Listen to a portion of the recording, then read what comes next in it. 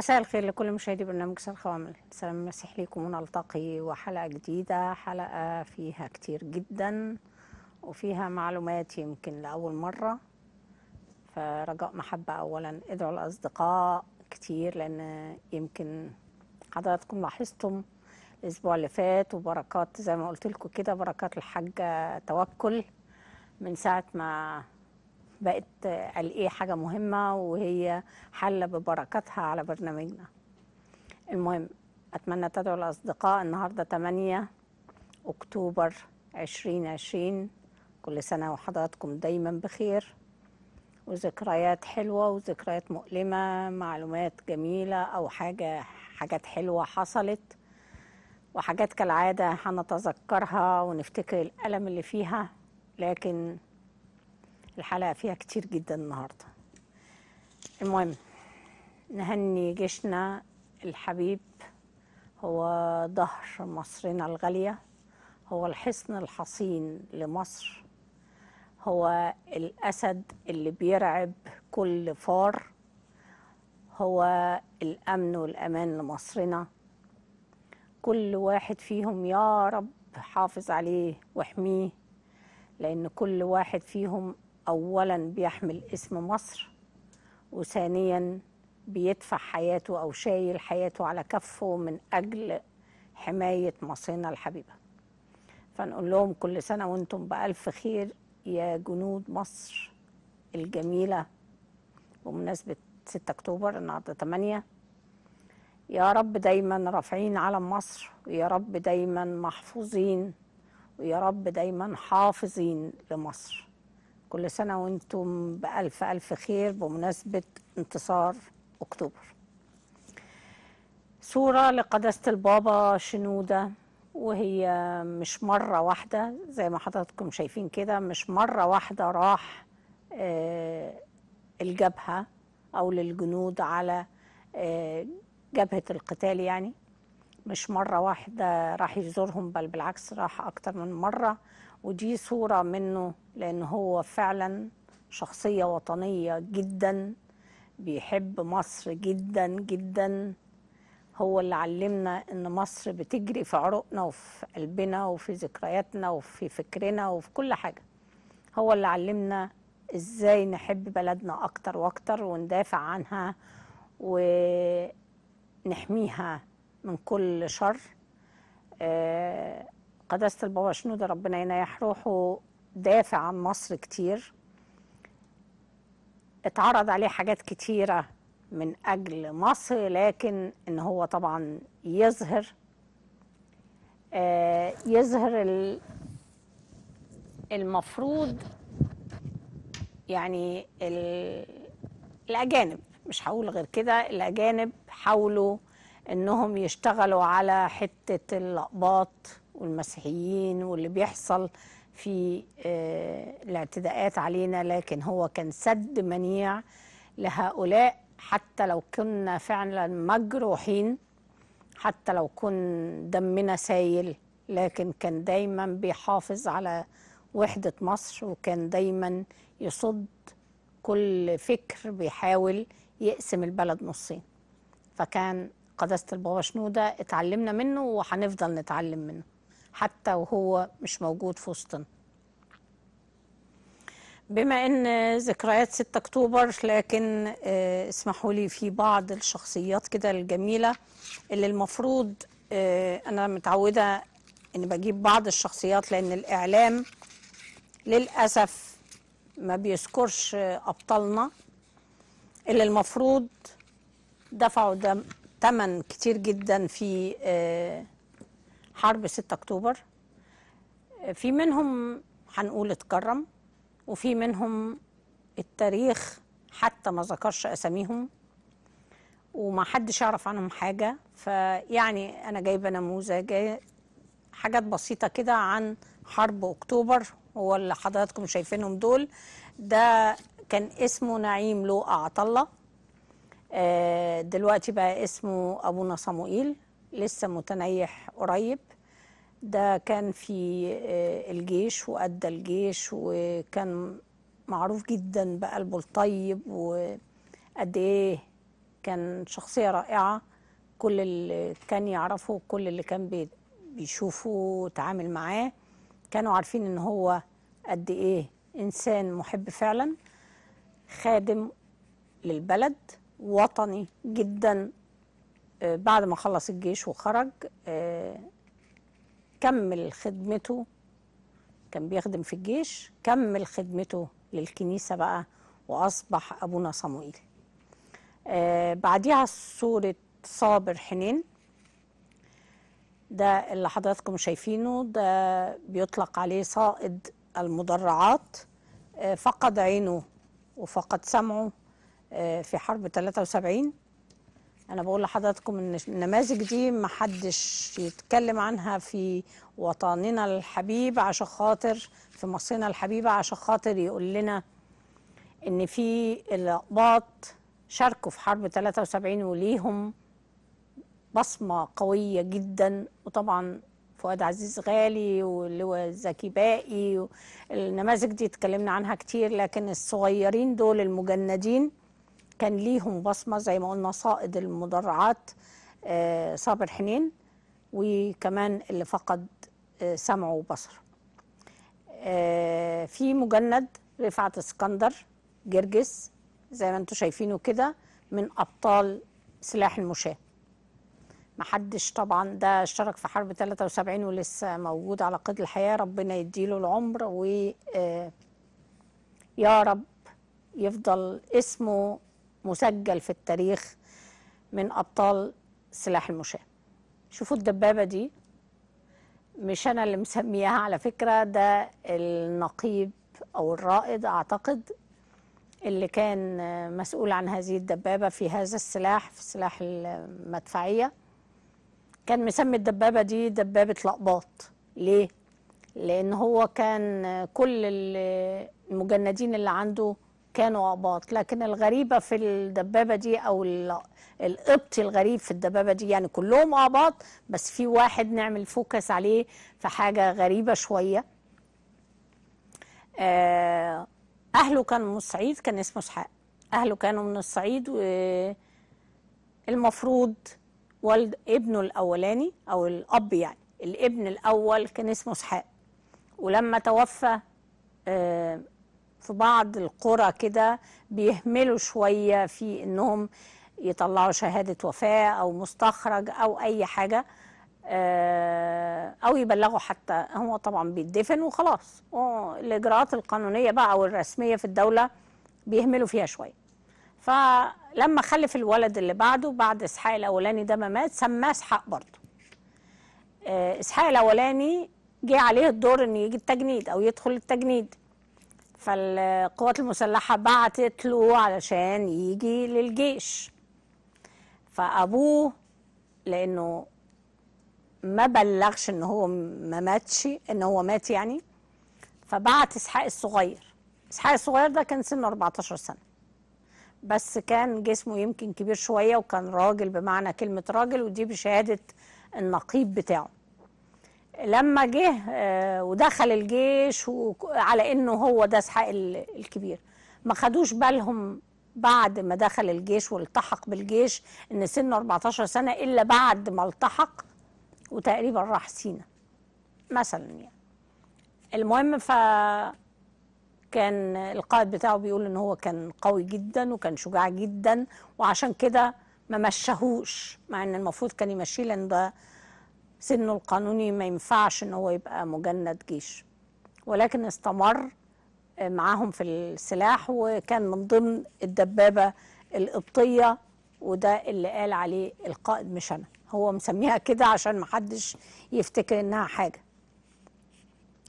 المطران دميانوس ده مطران كنيسة أو دير آه، سانت كاترين. آه، الرئيس المؤمن راح زاره بعد الحرب زي ما أنتم شايفين كده. هو وقيادات كتيرة راحوا زاروا دير سانت كاترين ليه؟ لأن آه، المطران ده كان وطني بمعنى كلمة وطني جدا جدا. آه، في حرب الاستنزاف 69 خبى الجنود المصريين داخل الدير ولما اسرائيل حبت تبحث عنهم وتدور عليهم ودخلت الدير فتشت. ما لقيتهمش بس كان هذا المطران مخبيهم في منطقة ما هم ما يقدروش يوصلوا لها. وبعد ما خرجوا طبعا وانتهى الموضوع والجنود رجعوا اتعرف الموضوع إن هم كانوا مستخبين في دير سانت كاترين. في حرب 73 كان هذا المطران دايما بيجمع قبائل سينا ويتفق معاهم محدش منكم يبيع أرضه محدش يبيع بيته وهكذا لأن طبعا إسرائيل بعد 67 كانت بتحاول تشتري أجزاء من الأراضي أو البيوت اللي في سينا علشان تضمها ليها. فكان هذا المطران بيجمع قبائل سينا ويشجعهم إن ما حدش يبيع أرضه مهما كان الثمن دي أرضنا وما حدش ياخدها. فكان قمة في الوطنية عشان ما كترش وبالتالي استحق إن هو ياخد نجمه سينا كوسام على وطنيته في اللي عمله مع الحرب. وكان طبعا لازم نذكر هذه الحاجات ونثبت إن حب مصر بيجري في كل واحد فينا. ملهاش علاقة بدين أو شخصية دينية أو مش دينية. نكمل. نقول إحنا طبعا بنقول الحاجات الحلوة في الأول أهو عشان خاطر الناس اللي طلبت مني إن أنا أحط حاجات حلوة في الأول. الحاجة الحلوة كمان الجميلة جدا دير الأنبا صموئيل نهنيهم ونقول لهم ألف ألف مبروك إن الدير تم رصفه ونشوف الصور بتاعته قد إيه. خلاص كده الدير أو الأرض أو sorry الطريق كله اتسفلت خلاص وصل لغاية الدير. وانتهى زي ما حضراتكم شايفين كده تم الرصف بالكامل والدير أهو. نشكر ربنا لغاية الآخر الرصف. نقول لهم يا رب احمي كل ذرة تراب في أرضك يا مصر لكن دير الأنبا صمويل بالذات ليه ذكريات عندنا وهو استشهاد ولادنا في حدثين متتاليين سنتين ورا بعض نفس الطريقة. فأتمنى الجيش والشرطة ما عندهمش دلوقتي أي عذر الأرض مسفلت أو الأرض متسفلتة بس طبعا الشياطين بتيجي من كل مكان ملهاش علاقة بالسفلتة. لكن هي بتسهل الطريق إنهم يجروا وراهم لو بعد الشر حاجة حصلت تاني. نهني مصرنا الحبيبة برضو مصر هتفضل ذخيرة للعالم كله يعجز العالم عن إنه يفهم حاجات فيها. بأمانة مصر فعلا أم الدنيا مصر فعلا هي اللي أبهرت العالم في حاجات معينة. من ضمنهم هذا الاكتشافات اللي أكيد حضراتكم كلكم شايفين أحد الاكتشافات اللي لقيوها 59 تابوت ده حاجة منهم شايفين تحت الرمل كان إزاي يعني. طبعا ده كان من غير تابوت لكن هم لقوا 59 تابوت. لكن الصورة دي أنا جايباها عشان نتخيل حرارة الشمس أو التراب أو الرمل أو الفترة الزمنية 2500 سنة وما أثرتش على هذه التوابيت. يعني ده الواحد لو حط قلة في الرمل بعد شوية ممكن يلاقي القلة دي اتدغدغت من بعد سنتين ثلاثة مثلا. لكن دول 2500 سنة تحت الرمل بالشكل ده وتحت حرارة الشمس. وإحنا عارفين الأرض الصحراوية قد إيه بتبقى ممتصة درجة الحرارة جدا في الرمل بدليل إن لو واحد ماشي في منطقة زي كده ما يقدرش يحط رجله على الرمل كويس لأن بتبقى سخنة جدا. فتخيلوا بقى 2500 سنة شوفوا الصورة اللي بعديها. طبعا أنا جايبة صور بس لأن أكيد كلكم حضراتكم اتفرجتم على الفيديوهات وشفتوها لكن ما أعظمك يا مصر توابيت فوق توابيت صور وتفاصيل كشف أثري مذهل في مصر. مذهل فعلا. الصورة دي بقى آه زي ما حضراتكم شايفينها كده. هقول لكم شوية معلومات قريتها وأحب إن أنتوا تسمعوها وتعرفوا اللي فيها لأن فعلا جميلة جدا. ليه بيقولوا إن الهرم الأكبر من عجائب الدنيا السبعة؟ ليه؟ آه الهرم شكل الهرم وطوله وحجمه حير العلماء وحير الناس كتير جدا ومخليينهم يعني هيموتوا يعرفوا أسرار الهرم ده اتبنى إزاي. أول حاجة الحجر الواحد في الهرم ما بين 2 و15 طن. الناس ما تعرفش الطن قد إيه؟ 1000 كيلو. فيعني ما بين 2000 وما بين 2 في 15 ب 30 30 ألف كيلو. الحجر الواحد الواحد مثلا ما بين 2 وما بين 30 ألف كيلو. آه، عدد أحجار الهرم 2 مليون و600 ألف حجر. فتخيلوا بقى 2 مليون يتحطوا فوق بعض إزاي؟ وما كانش فيه لا ونش ولا كان فيه جرارات ولا كان فيه أي حاجة تجر الحجارة. آه، آلاف السنين كانوا بيفكروا إزاي؟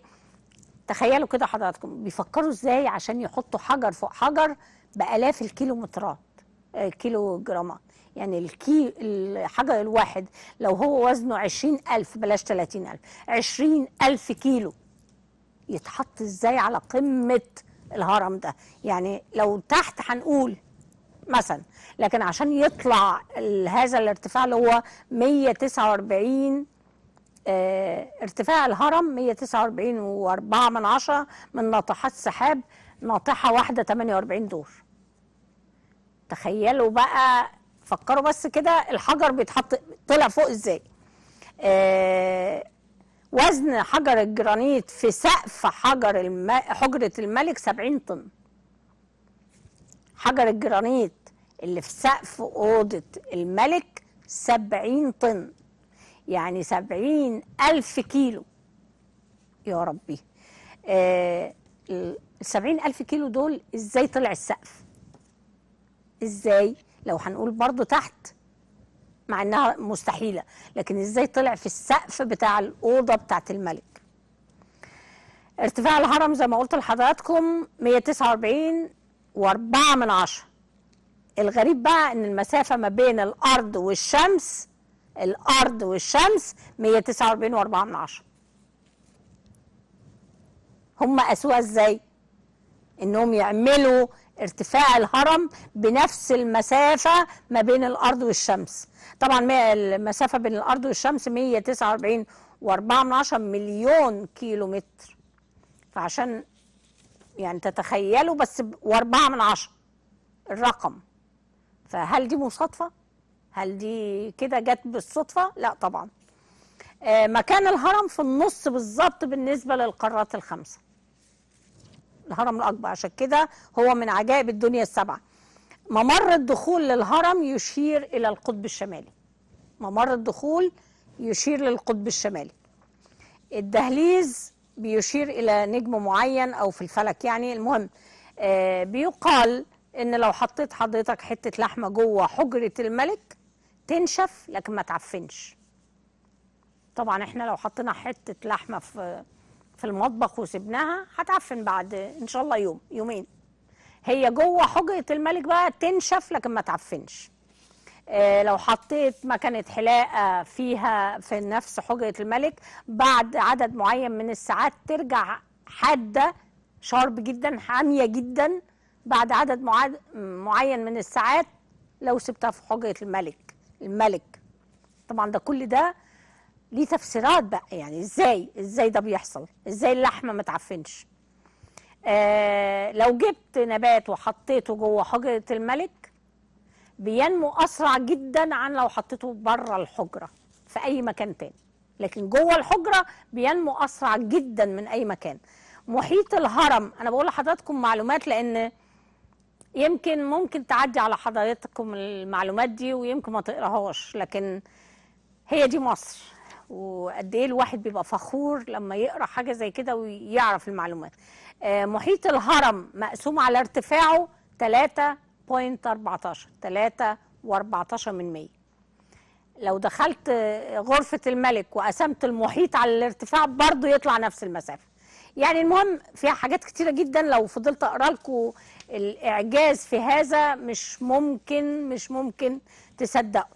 الرسومات بقى في حاجات مش هكمل الكلام. آه كانوا حاطين آه، حجارة معينة مطلية بطريقة معينة تحت في الأرض على عمق كبير في المياه الجوفية. الحجارة دي كانت لما المياه الجوفية بتتحرك بتولد زي طاقة كهربية بتخلي ال ال الهرم ينور كأنه بلمبة نيون. الفكر بيخلقوا الكهرباء إزاي؟ من كام ألف سنة؟ الحاجة الأهم والأهم جدا بالنسبة لي أنا قعدت أفكر فيها كتير قوي. على المتاحف أو في سمبل وفي الأقصر وأسوان وجدوا رسومات. طبعا إحنا يمكن في التوابيت اللي شفناها دي الرسومات زي ما هي كأنها معمولة طبعا شالوا من عليها التراب وحاجات لكن الألوان زاهية جدا. فازاي ألوان فضلت؟ يعني لو حضراتكم مثلا بلوزة ولا جيبة ولا فستان وبعد فترة معينة هتلاقي ممكن اللون بتاعها ما بقاش زي الأول.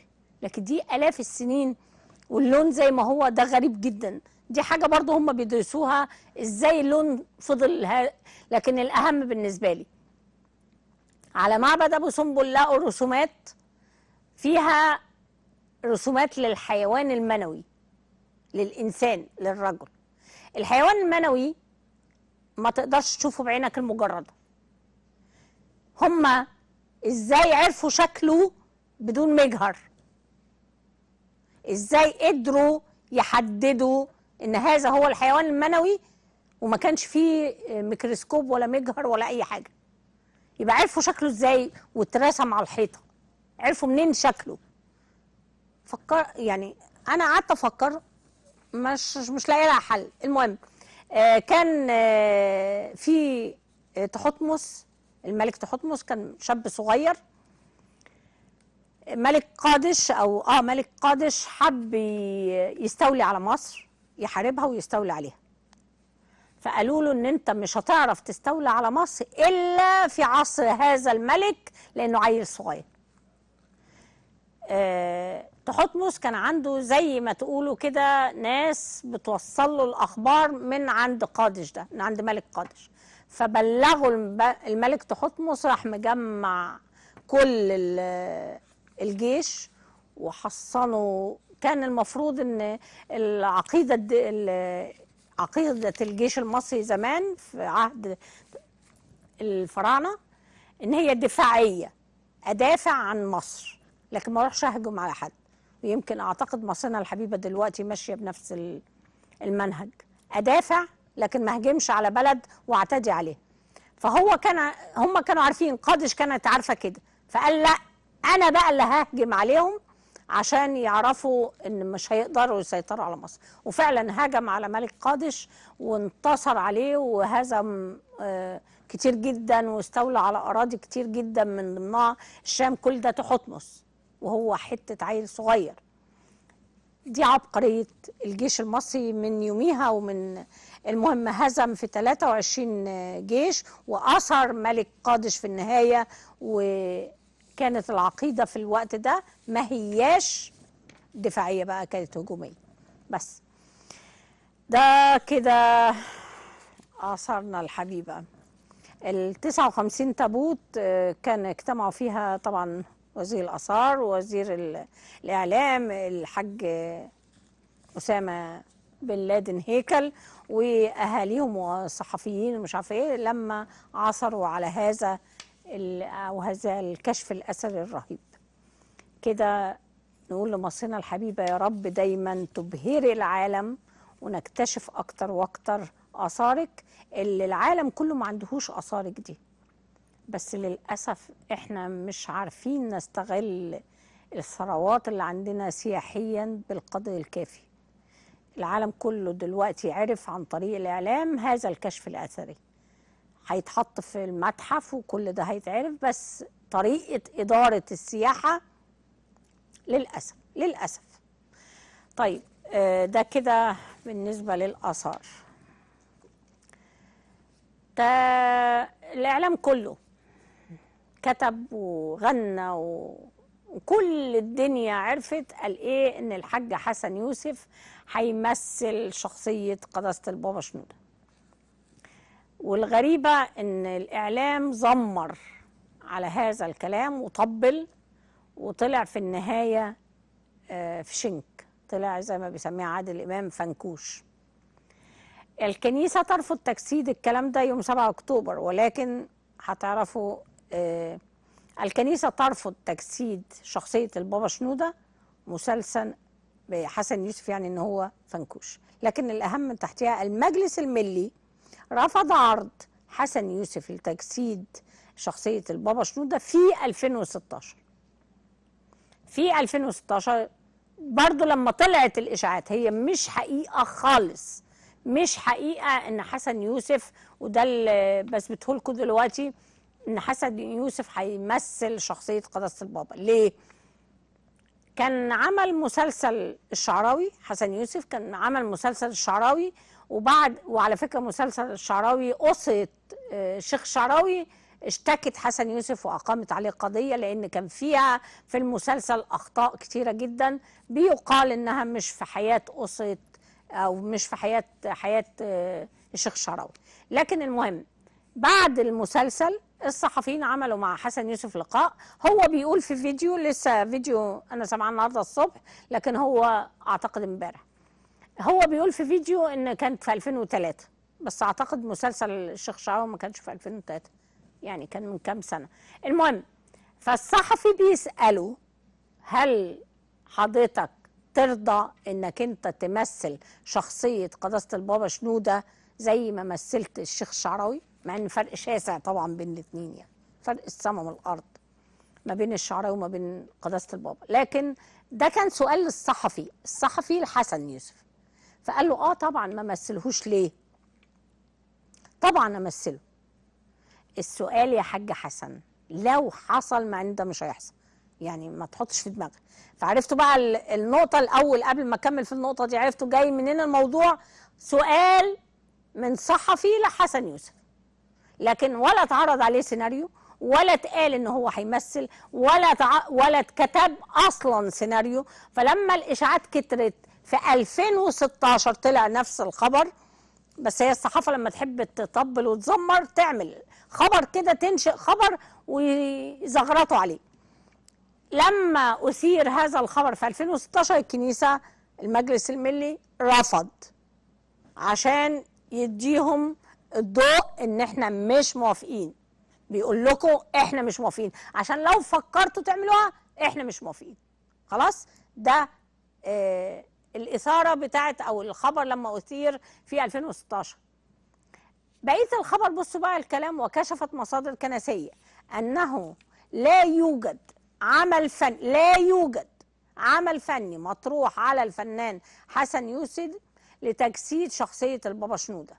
فما حدث كان أشبه بأكذوبة إذ أن الفنان ذكر اسم البابا في إطار تمني إن هو يتمنى انه يجسد شخصية البابا البابا شنودة وليس التحضير لأداء الشخصية. خلاص؟ وسبق وأثير الجدل أو ده اللي أنا بقوله لكم أهو. وسبق وأثير الجدل في 2016 اعلن حين أعلنت شركة شركة العدل جروب لإنتاج الفني مسلسل تلفزيوني عن حياة البابا شنودة يجسده الفنان حسن يوسف. ولكن الكنيسة القبطية الأرثوذكسية رفضت العمل الفني وخرج المجلس الملي ببيان طبعا وحذر فيها الكلام ده إنه ما يحصلش. ده آه، بالنسبة لحسن يوسف اوريكم الصورتين اللي بعديها عشان أجري لأن في حكايات مهمة جدا في حلقة النهارده. نشوف اللي بعدها الصورتين.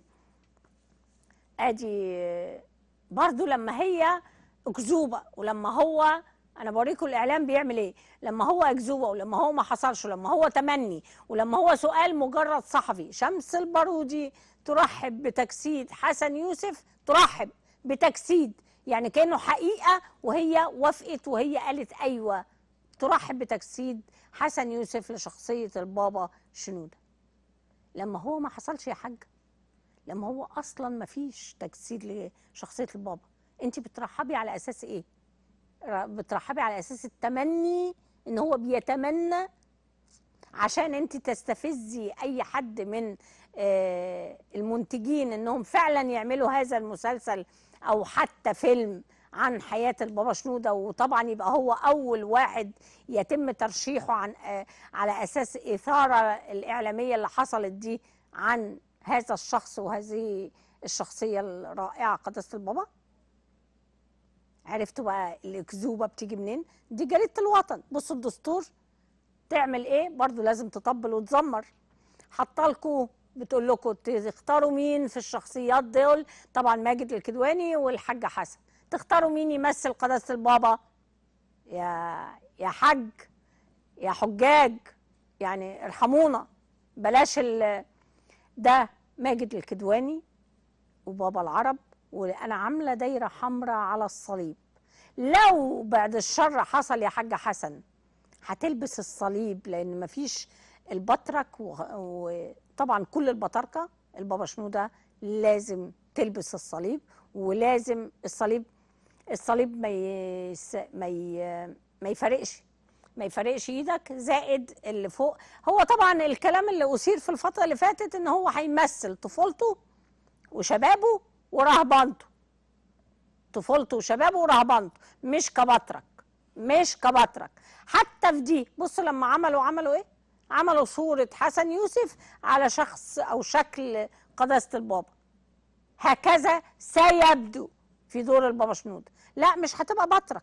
بس برضو الاسقف بيلبس نفس نفس الطاقية دي وبيبقى كده برضو حتى لو اسقف لأنه كان اسقف التعليم قبل ما يبقى بطرك. المهم يا حاجة حسن هتمسك الصليب كده على طول؟ هتلبس كل هدومك مليانة صلبان؟ هتلبس الصليب وما تقلعهوش ابدا؟ الطاقية اللي فوق راسك فيها صليب الصليب يعلو راسك. كل ده بالنسبة لك هيبقى عادي؟ عادي ولا هو لمجرد الشغل فقط لا غير. يعني انت آه، هتعتبره آه ده وظيفتي كده إن أنا هعمل كده. لكن ومن تشبه بهم أصبح منهم. وبما إن حضراتكم بتعتبرونا كفار فأنت لو تشبهت بينا حتى الشبه هتبقى كافر زينا حاجة حسن. فما تحاولش تفكر. حتى لو عرضوا عليك لهم لا لا لا. ده زائد إن اولا وأخيرا من ألف للياء اللقباط رافضينه والكنيسة رافضة. فده مش هيحصل. okay؟ بس ده بالنسبة للحاجه آه، حسن. نرجع بقى لمونيكا. مونيكا. شوف صورتها الأول. دي مونيكا. وهبة. هي طبعا حكايتها مهمة جدا. المهم فيها إيه؟ حاجتين. الإجبار على الحجاب الإجبار على الحجاب. الايه كده هي شكلها مثير. طبعا هوريكم الصور التانية. بس خلينا في حتة حتة. آه الإجبار على الحجاب زائد دور الشرطة في الموضوع. ده اللي يهمني. مونيكا بتقول إيه كنت مستنية لما أتحسن وأكون أهدى وقادرة. أنا طبعا بعت لها وحاولت أستضيفها معانا لكن أعتقد ان هم مخوفينها أو قالوا لها ما تطلعيش على وسائل الاعلام المهم يعني كنت مستنية لما أتحسن وأكون أهدى وقادرة أتكلم عشان أطلع وأقول كل اللي حصل لي وكنت أتمنى إني أبقى بكتب الكلام ده وأنا جايبة حقي أو على الأقل حاسة إني ممكن أجيبه. اللي حصل إن في شخص بيتعرض لي يوميا في طريقي لشغلي تحديدا قدام مترو البحوث في المهندسين بيهددني يوميا بالذبح. فاكرين الست بتاعت الوراق؟ فاكرين ميري كمان بتاعت الوراق؟ الاتنين كان بيعمل لها كده. فكان بيهددني بالذبح في الشارع علانية لأني متبرجة وكلام عن إنه عايز المظاهرات تقوم وكل المتبرجات تتعدم في الشارع. الله عليك. الكلام ده بسمعه يوميا في عز النهار في مكان زحمة زي ده. لحد يوم الحد اللي فات اللي هو 27 9 طبعا الكلام ده مش مش اللي فات يعني. بتاريخ 27 9 لما كنت نازلة أنا وأختي وبنت زميلتنا هما الثلاثه متبرجات.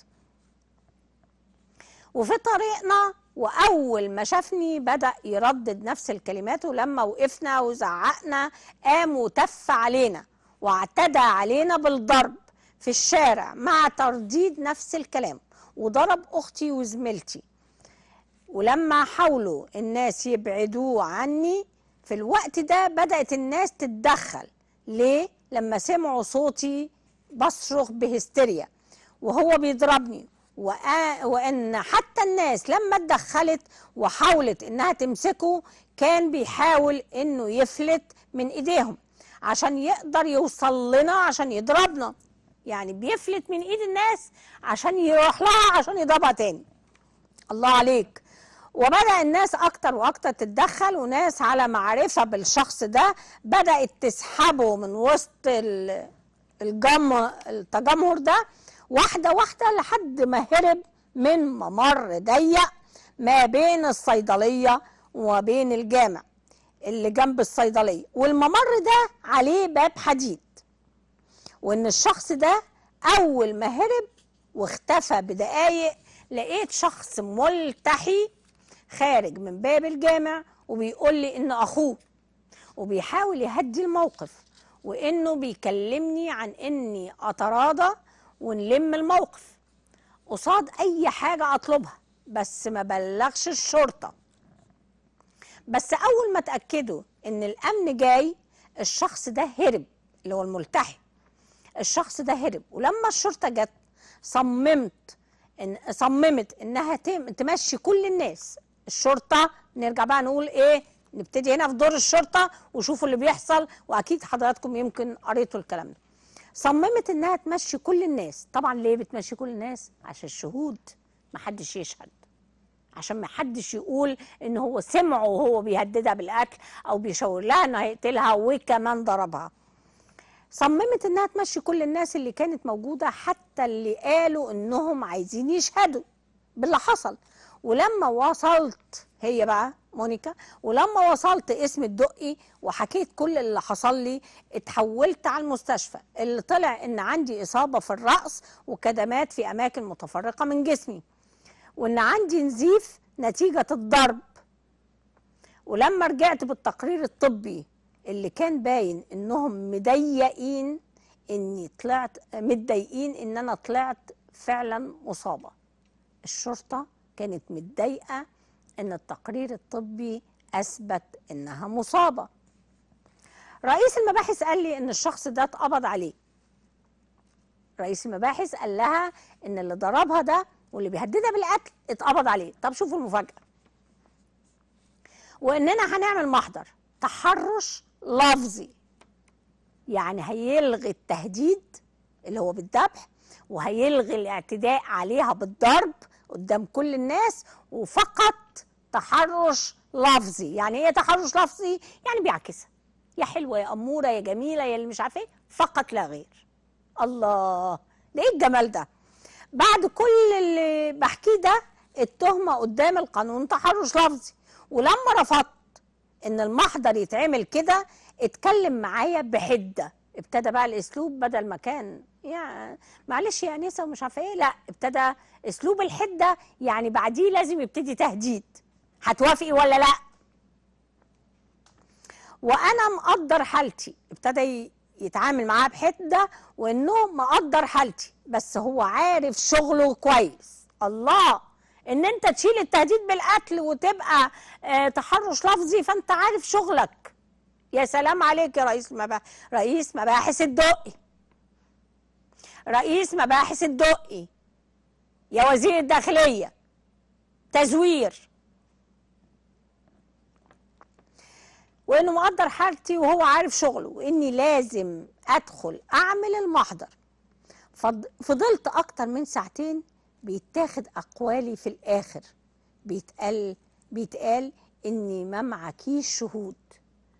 يعني هم أخدوا أقوالها في المحضر لمدة ساعتين وفي الآخر كلامك مش مصدق لأنك ما عندكيش شهود. طب ما أنت اللي مشيتهم. الناس اللي كانت عندها استعداد إنها تشهد أنت اللي مشيتهم.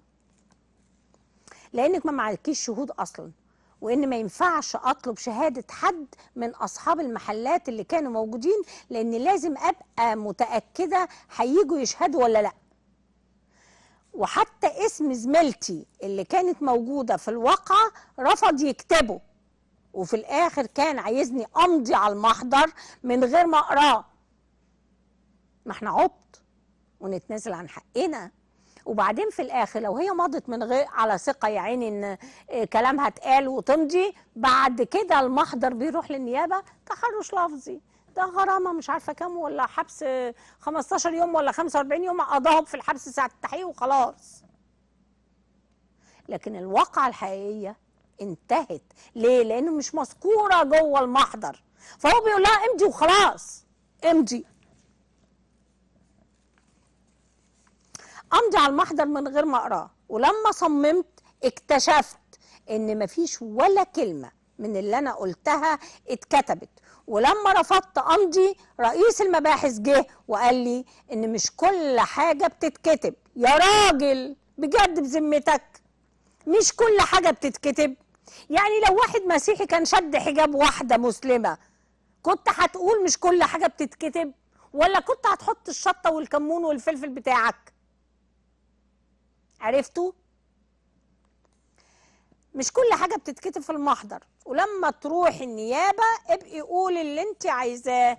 حتى لما طلبت اني أشوف الشخص هي قالت للظابط لرئيس النيابة أنا عايزة أشوف الشخص اللي ضربني. انت بتقول ان انت قبضت عليه.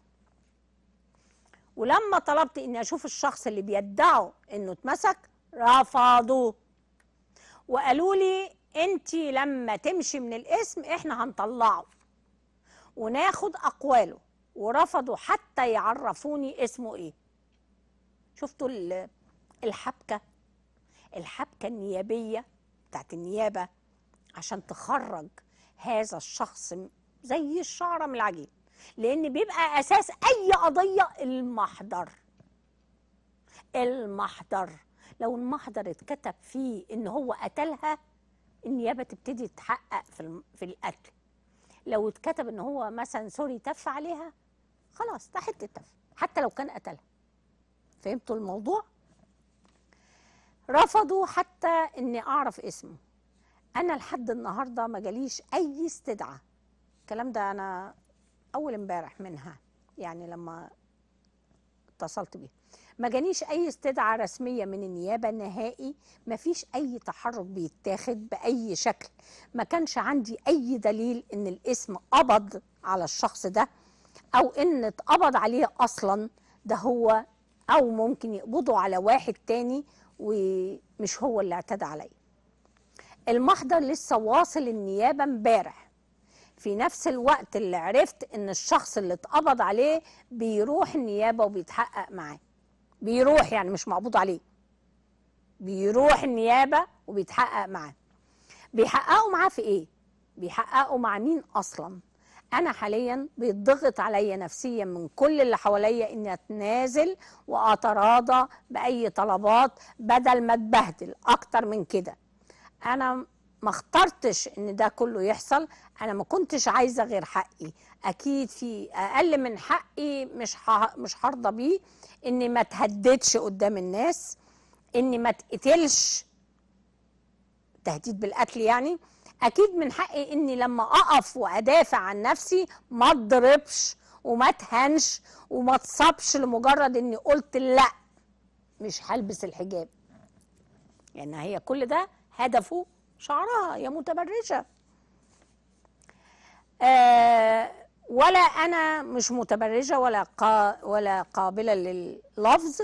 ليه بقى؟ أنا خايفة أروح شغلي حتى الآن والموضوع أشبه بالمخاطرة. كل يوم لما أعدي من نفس المكان ونفس الخطوات لحد ما أقدر أعدي من الطريق. يعني هي حاسة بخطر وهي بتعدي في نفس المكان. أنا مش بس واخدين إحنا بس مش واخدين حقنا لا ده إحنا أصلا مش متشافين. أنا في اللحظة دي ما بقاش عندي أي أمل في الحياة. في اللحظة دي أنا حاسة إني مظلومة ومصابة ومهددة ومباح دمي. وإن أكبر جريمة عملتها في حياتي هي إني مش من الأغلبية ومن دين آخر. هو مش عاجبه شكلها عشان كشف شعرها. وطبعا أي حد لأنها كشف شعرها ممكن يعكسها وأنا قبل كده عرضت لكم مليون مرة إن بيتم التحرش بالمحجبة والمنقبة والمنقبة. والحاج حسين يعقوب أعتقد مش عارفه ولا مين فيهم مش مهم أساميهم ما تفرقش حتى. اللي قال لها إنك حتى لو أنت منقبة فأنت بتثير الراجل لأن يا عيني شرابك البيج شرابك البيج باين. حتى الشراب لو هي منقبة شراب البيج باين فأنت كده مثيرة للرجل أكتر من نقابك. الله عليك. تعال نشوف ال- تعال نشوف الصور كده. مين فيهم آه، مونيكا؟ نشوف صورة مونيكا بعد إذنك. نشوف صورة مونيكا الأول. أدي مونيكا. شوفوا بقى اللي بعدها. مين فيهم المثيرة؟ الله. دي لما تمشي في الشارع دي الحاجة رضوى طبعا.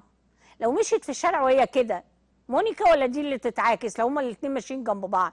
أدي مونيكا. نشوف اللي بعدها. بعد رضوى إيه الجمال ده؟ مونيكا ولا دي؟ اهي مغطيه شعرها مين فيهم اللي تتعاكس؟ مين فيهم المثيرة؟ أيها الرجال الجميلة الأمورة دي. مين فيهم المثيرة؟ مونيكا ولا دي عرفتوا ان أنتوا بوشين. الحاجة صابرين. طبعا على الشمال بعد ما قلعت الحجاب وباركت لها.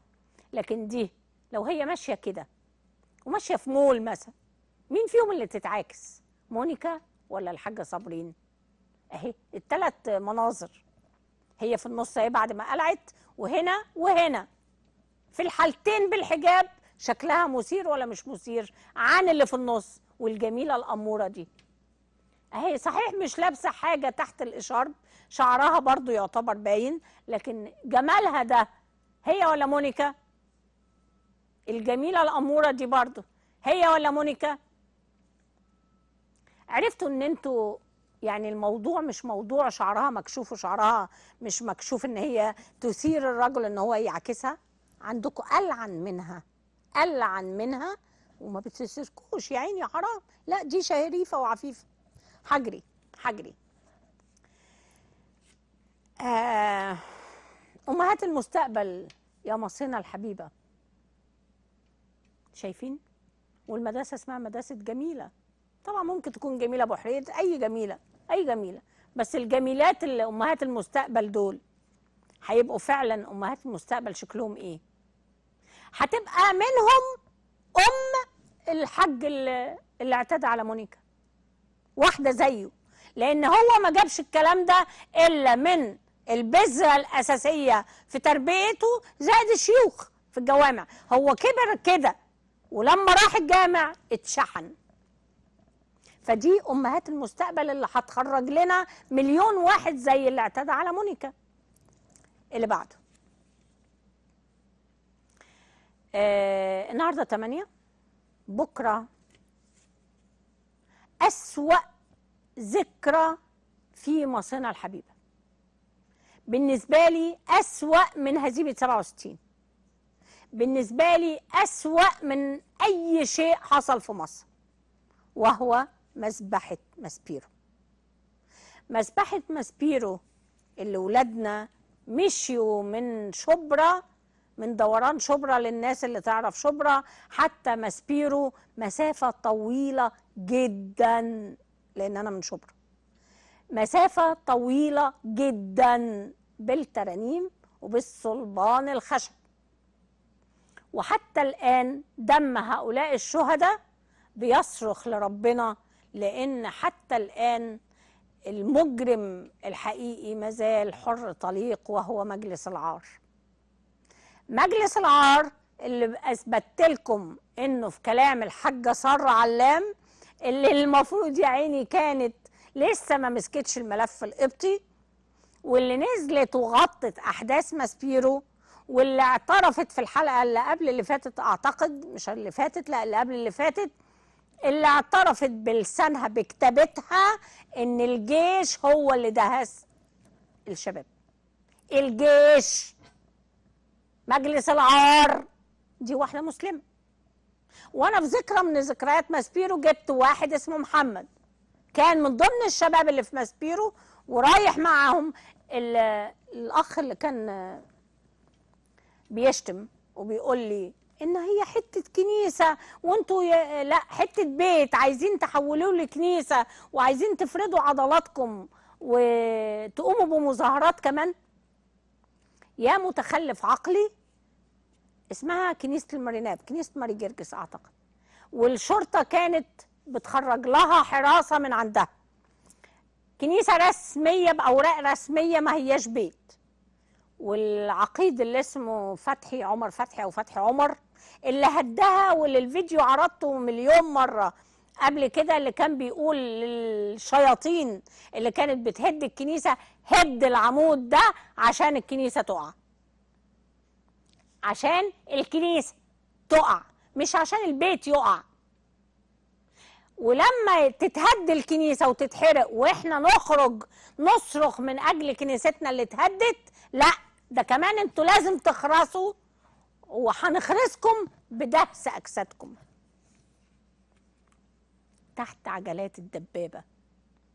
عمركم شفتم على مر التاريخ إنسان من البلد مش عدو.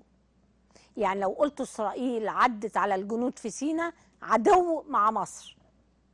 لكن البلد جيش بلدي اللي كنت بدعي له في أول الحلقة هو اللي يدوس على أجساد ولاد البلد. ولاد البلد الأصليين أفكركم. ولاد البلد الأصليين يا مشين. ولاد البلد الأصليين اللي أصل البلد يا مشين. مش أنت عيان؟ ما تحاول تلحق قبل ما تقابل ربك وتطلع قبل ما إن شاء الله بدقيقة ما أنت مش هت... مش هتتحبس. أنت مش هت مش هيدخلوك السجن إذا كنت خايف تتسجن. مع إن ده مش هيحصل خالص. سجل بصوتك صوت وصورة فيديو وقول أيوه أنا المسؤول عن اللي حصل. أنا المسؤول عن دهس ولاد الأقباط. أنا اللي اديت الأوامر بتحريك الدبابات. أنا وأنا قول كل حاجة. وذيعه وخلص ضميرك من ربنا. مع إن ده مش هيحصل. لانك جبان بس دم ولادنا اللي اتمسح عشان النيابة ما تعرفش تثبت بالمعاينة إن الدبابات عملت إيه في أجساد ولادنا؟ اتمسح قبل ما الفجر يطلع. اتغسل. الأرض اتغسلت. اتغسلت اتغسلت. بمواد كيماوية وبغسيل المية عشان المعاينة ما تتمش. الكاميرات مفيش فندق رمسيس ماسبيرو كله كله فيها كاميرات. مفيش اتمحت. اتمحت. الأهم صدقوني لغاية امبارح وأول امبارح في دكتور أعرفه شخصيا كان في مستشفى القبطي في الحدث ده. بس هو يعني مش بتاع استقبال هو بتاع كانسر وحاجات كبيرة. خلاص؟ من ضمن كلامه اللي اتقال لي إن أنا شفت بعيني حاجات ما ينفعش الطب يتدخل فيها. خالص. يعني لو في جرح نقول نخيطه مش عارفة إيه. ده ما ينفعش. الأجساد اللي جت شكلها عمري في حياتي ما هنساها وعمري في حياتي ما شفت زيها ولا هشوف زيها. فتخيلوا بقى الاجساد كانت شكلها إيه؟ ماسبيرو الدم بيصرخ. إليك يا رب. والقتلة والسفاحين لسه موجودين. تعالوا شوفوا الصورة الأخيرة معلش دي ما تتسابش. وأنا علقت عليها كتير قبل كده. الحاجة رشا مجدي وجبتها لكم قبل كده بأكتر من صورة إن هي كانت بت مرة قالت ثلاثة شهداء ومرة قالت اتنين شهداء مرة قالت 30 مصاب ودلوقتي 20 مصاب ودلوقتي شهيد و20 مصاب. يا ترى الشهيد من الجيش خدوا بالكم من جنود الجيش. وتحديت الدولة كلها إنها تطلع لي اسم هذا الشهيد. قولوا لنا اسم الشهيد. في قرية إيه اتدفن فين؟ عشان تثبتوا إن أنتوا كدابين.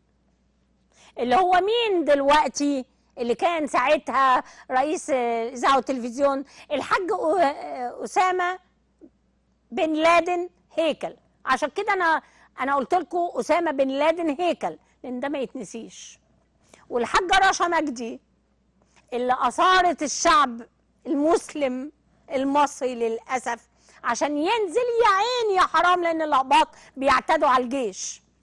اتحكمت طلعت براءة زي الشعر من العجين ال- الدم السائل قبطي اخس اخس اخس.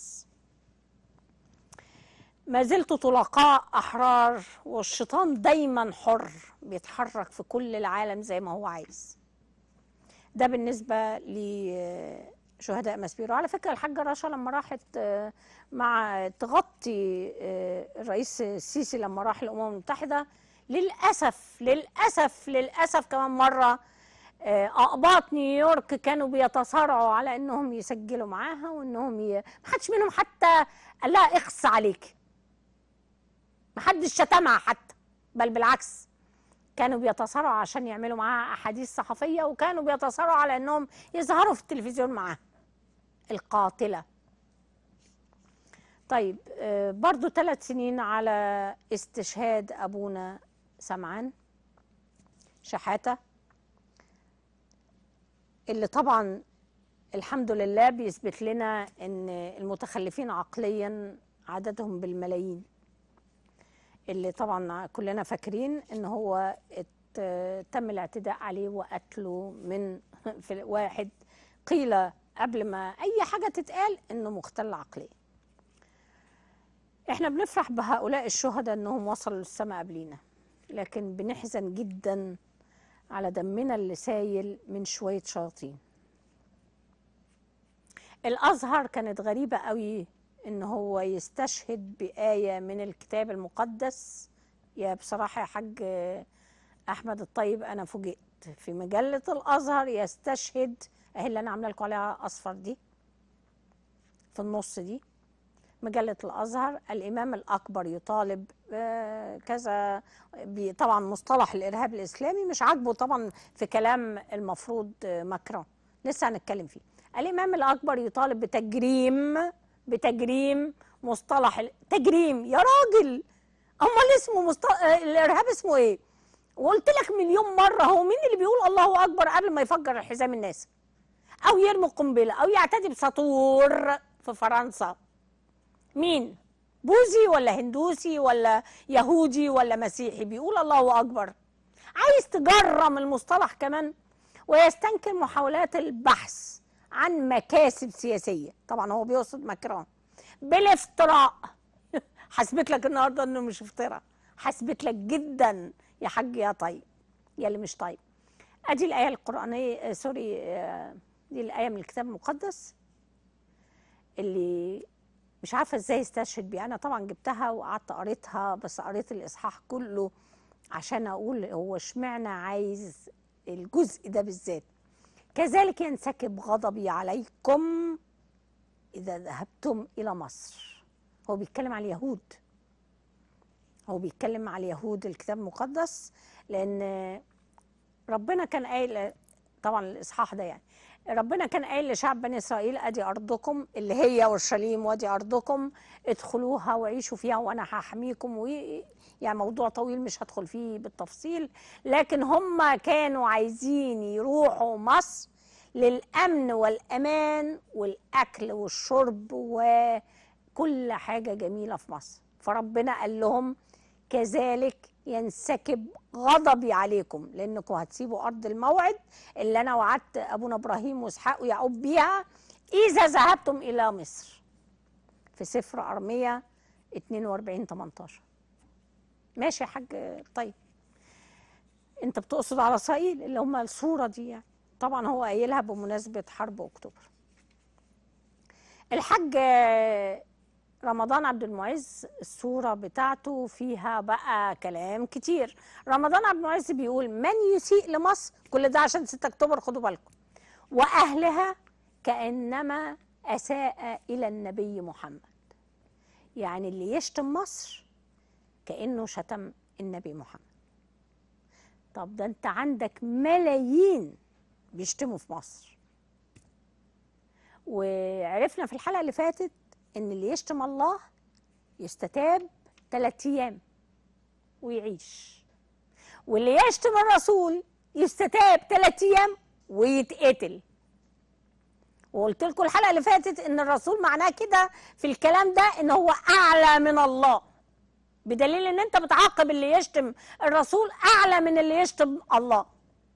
فتخيل بقى يا حاج رمضان إن عندك كام مليون أنت كده بتطالب بقتله إن اللي يسيء للرسول أو يشتم الرسول يستتاب ويقتل. فاللي يشتم مصر يبقى كأنه شتم الرسول وبالتالي العقاب بقى التكمله يعني إنه يستتاب ويقتل. يعني الحاجة آيات عرابي وغيرها وغيرها وجماعة الخونة والسلفيين وكتير اللي قالوا طز في مصر الخونة. طز في مصر وأهل مصر ومش عارفة إيه. وبتوع تركيا اللي قاعدين يغنوا يطبلوا هناك اللي للأسف ما زال اسمهم مصريين. كل دول كأنهم أساءوا للنبي. كل دول المفروض يتقتلوا حسب وجهة نظر سعادتك يا حاج رمضان. طيب في فيديو بقى جميل قوي قوي وصلني. وكالعادة عايزة بس أقول قبلها آه، اولا بصوا التيشيرت اللي لابسينه. حلو جدا إنهم يعملوا إنشاد ديني للعذراء مريم وبيقولوا يا قديسة يا عذراء وبيتشفعوا بيها. حلو جدا ما تشفعوش بحد تاني تشفعوا بالعذراء مريم وبيطلبوا منها لربنا. طب هي مين بالنسبة لربنا؟ هي أم نبي بالنسبة لك. هي أم نبي والأنبياء كلها في دينك الإسلامي أنت معترف بيها وإلا ما تبقاش مسلم. اشمعنى دي اللي هتتشفع عند ربنا وانت عارف وواثق ان شفاعتها هتقبل من ربنا؟ دي النقطة اللي يا ريت كل مسلم عادي خالص يفكر فيها. اشمعنى؟ اشمعنى العذراء مريم عند ربنا شفاعتها تستجاب؟ هي أم أم نبي. ليه مثلا أم موسى أم هارون أم داوود أم سليمان. آه كل دول أنبياء. أم رسول أشرف الخلق بس هي للأسف ماتت مش مسلمة فبالتالي أنت ما تقدرش تتشفع بيها. أمهات المؤمنين بلاش ما دي المفروض إن أنت تتشفع بيهم. بس العذراء مريم ده ليه كلام تاني خالص عندك. فكر فيه فكر فيه. الأهم بقى الأخطاء اللي بيقولوها في وسط الكلام. ودي بأمانة بتمنى كل مسلم عاقل يفكر فيها. تفتكر ربنا ما يعرفش؟ حاشا لله. هل ربنا جاهل؟ يعني العذراء مريم أمها اسمها حنة وأبوها اسمه يواقيم حنة ويواقيم لما انت في النشيد هنا تقول يا بنت هارون أو يا أخت هارون يا عذراء يا مريم يا أم نبينا عيسى يا أخت هارون. لا العذراء مريم مش أخت هارون خالص. هي أخت هارون كان اسمها مريم برضه بس هي مش أم عيسى. هي مش أم عيسى عندك. أخت هارون مش أم عيسى. أنت بتغني ل... أو بتنشد للعذراء مريم. هل الله عندك كان جاهل؟ ما هوش عارف يفرق ما بين العذراء مريم أم السيد المسيح وما بين مريم اخت هارون؟ ما هوش عارف يفرق ما بين الاثنين هل دي هي دي؟ طيب دي قبلها ب 640 سنة. قبل ما يجي الإسلام كان اسمها مريم بنت حنة وبنت يواقيم. تيجي انت بعد 640 سنة تقول لا ده ما كانتش حنة ويواقيم. يبقى إلهك جاهل. يبقى إلهك ما يعرفش مين العذراء مريم. ما يعرفش مين ابوها وامها. آه مريم اخت هارون مش هي ام العذراء مريم مش هي آه العذراء مريم شوفوا الانشاد الديني ده كان جميل بس الاخطاء اللي فيها للاسف أنتوا تستمدوه من عندكم وده للاسف جهل. نسمع الفيديو. توسلنا بك يا قديسة يا مريم يا أمنا بن عيسى لله توسلنا. بك يا قديسة نصرى الله الله. يا سيدة للحور الله الله. نظرة يا أم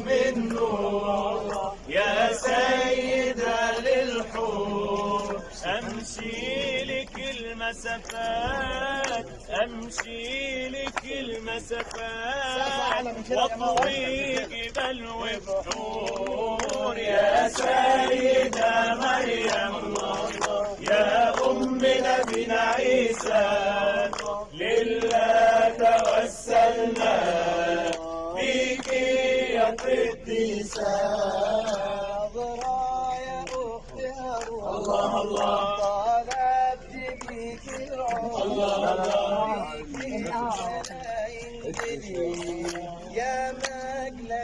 فيكون يا سيدة مريم الله الله يا أم نبينا عيسى لله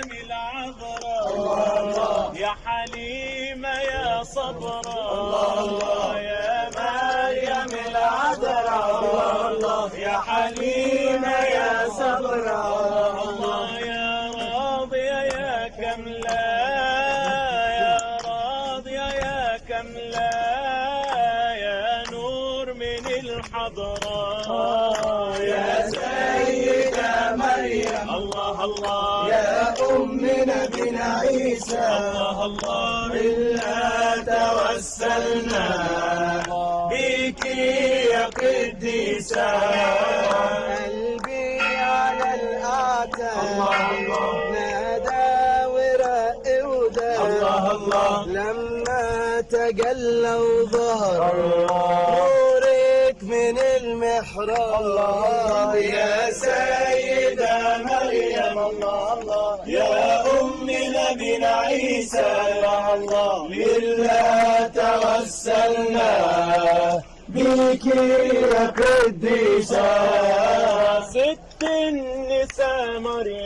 الله الله. بها يزول الهم. الله الله. ست النساء مريم. الله الله. بها يزول الهم. الله الله. لما تناديها لما تناديها. كل الجراح تتلم.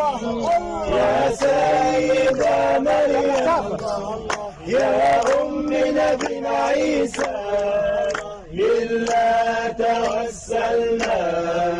بك يا قديسة خير بني آدم. الله الله. يا رحمة للعالم. الله الله. يا زهرة من يا صورة من فاطمة. الله الله يا سيدة مريم. يا أم نبينا عيسى. لله توسلنا بك يا قديسة. اللي نسوا فضلي الله الله. ما يعرفوش قدري. الله الله. اللي نسوا فضلي الله الله. ما يعرفوش قدري. الله الله. اللي نسوا الله. فضلي ما مدد، مدد،. مدد. اللي نسوا فضلي ما يعرفوش قدري دي الآية تشهد لي الله. دي الآية تشهد ليك والسورة من هيا،. هيا، هيا، هيا. يا سيدة مريم الله الله يا أم نبينا عيسى الله الله. لله توسلنا بك يا قديسة أصله جمال الله الله. ما يتسواش بالمال الله الله. الحب أصله جمال الله الله ما يتسواش بالمال الله الله يجني العقول والقلوب الله. ويغير الأحوال. الله. يا سيدة مريم الله. الله. يا أم نبينا عيسى. لله توسلنا بك يا قديسة يا سيدة مريم الله. الله يا أم نبينا عيسى. الله الله لله توسلنا يا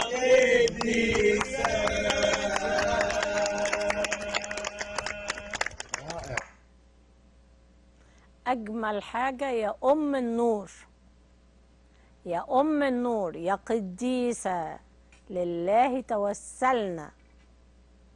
مش هعيد الكلام تاني. فكروا فكر يا مسلم يا عاقل يا عادي يا غير متعصب. مين العذراء؟ مريم. ومين وليه سمي بالنور. يا أم النور ليه السيد المسيح اسمه النور؟ فكروا مش هقول أكتر من كده. عندي كلام كتير جدا عن الموضوع ده. طيب آه طبعا مريم ما هياش بنت عمران وما هياش أخت هارون وما هياش أخت موسى. العذراء مريم يعني. تعالوا بقى ندخل في الموضوع ده. أنا يمكن قلت لحضراتكم قبل كده أنا لما بلاقي حاجة غلط في حكاية البنات اللي بتخرج بتكلم. يعني مش كل حالة. يعني في حالات هي حر. هي اختارت طريقها بالسلامة يا ماما مع ألف سلامة. بس اللي بي اللي بيحزني إنها بيقولوا لك أو هي بتطلع بتقول إن أنا اقتنعت بالإسلام إن أنا اهتديت إلى الإسلام وهي بيكون الهدف الرئيسي جنسي. جنسي. ما تعرفيش حاجة عن الإسلام مطلقا.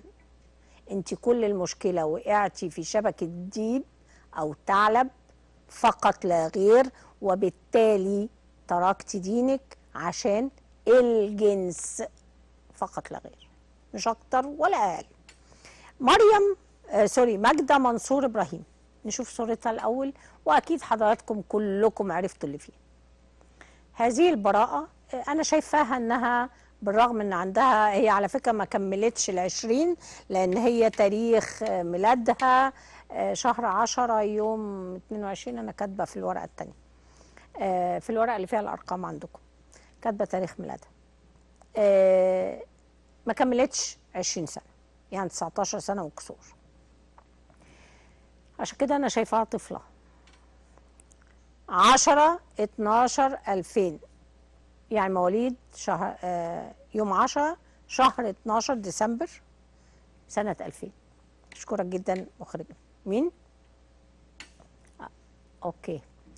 عايزة بس أقول بعد إذنك يا أستاذ يوسف. معانا أخوها آه، أستاذ يوسف أخو ماجدة ماجدة منصور إبراهيم. وهنتكلم معاها ومع والدها ومع مامتها ونشوف التطورات اللي حصلت. الأهم أنا طبعا الفيديو معايا الجواب معايا اللي هي كاتباه اللي بتقول إنها كاتباه وسايباه. آه في بعض النقط كده صغيرة قبل ما الحوار ياخدنا معاهم. هي بتقول في الفيديو إن أنا سحبت الفلوس اللي باسمي. وجزء صغير تاني. يعني هل أنت في استطاعتك تاخدي مثلا لو والدك ليه حساب في البنك تقدري تاخدي حس- منه؟ والدتك أخوكي أي حد؟ أنت سحبتي الفلوس اللي باسمي. هي بتقول كده إنها راحت البنك قبل ما تمشي والأهم والأهم إنها بتقول إنها مسلمة أو أسلمت من ست سنين. في الفيديو بتقول الكلام ده. من ست سنين. هي دلوقتي ما كملتش العشرين. 19 سنة وشوية. يعني كان عندها 13 سنة. أسلمت إزاي من ست سنين؟ إزاي؟ واحدة عندها 13 سنة. هتقدر تسلم؟ اسلمتي بالبق. قلتي أنا بقيت مسلمة. عرفتي الشخص. اللي انت اتجوزتيه اللي بتقولي في الفيديو ان أنا اتجوزته من ست سنين وعايشة مع والدك وانت طبعا ما دام أسلمتي من ست سنين يبقى اتجوزتيه من ست سنين. لأن هي في فيديوهين. فيديو بتقول إنها هتتجوز وفيديو بتقول أنا اتجوزت. اتجوزت ومبسوطة ومش عارفة إيه. طيب ها اتجوز أدي كدبة. اتجوزت كدبة. يا دي واحدة منهم كذب واحدة منهم كذب شايفين الوش هنا والوش هنا؟ أنا طبعا ما بشككش في الوش زي رانيا. لا لا لا لا. رانيا أنا كنت ببصم بالعشرة إنها مش هي اللي في الصورة اللي في الفيديو.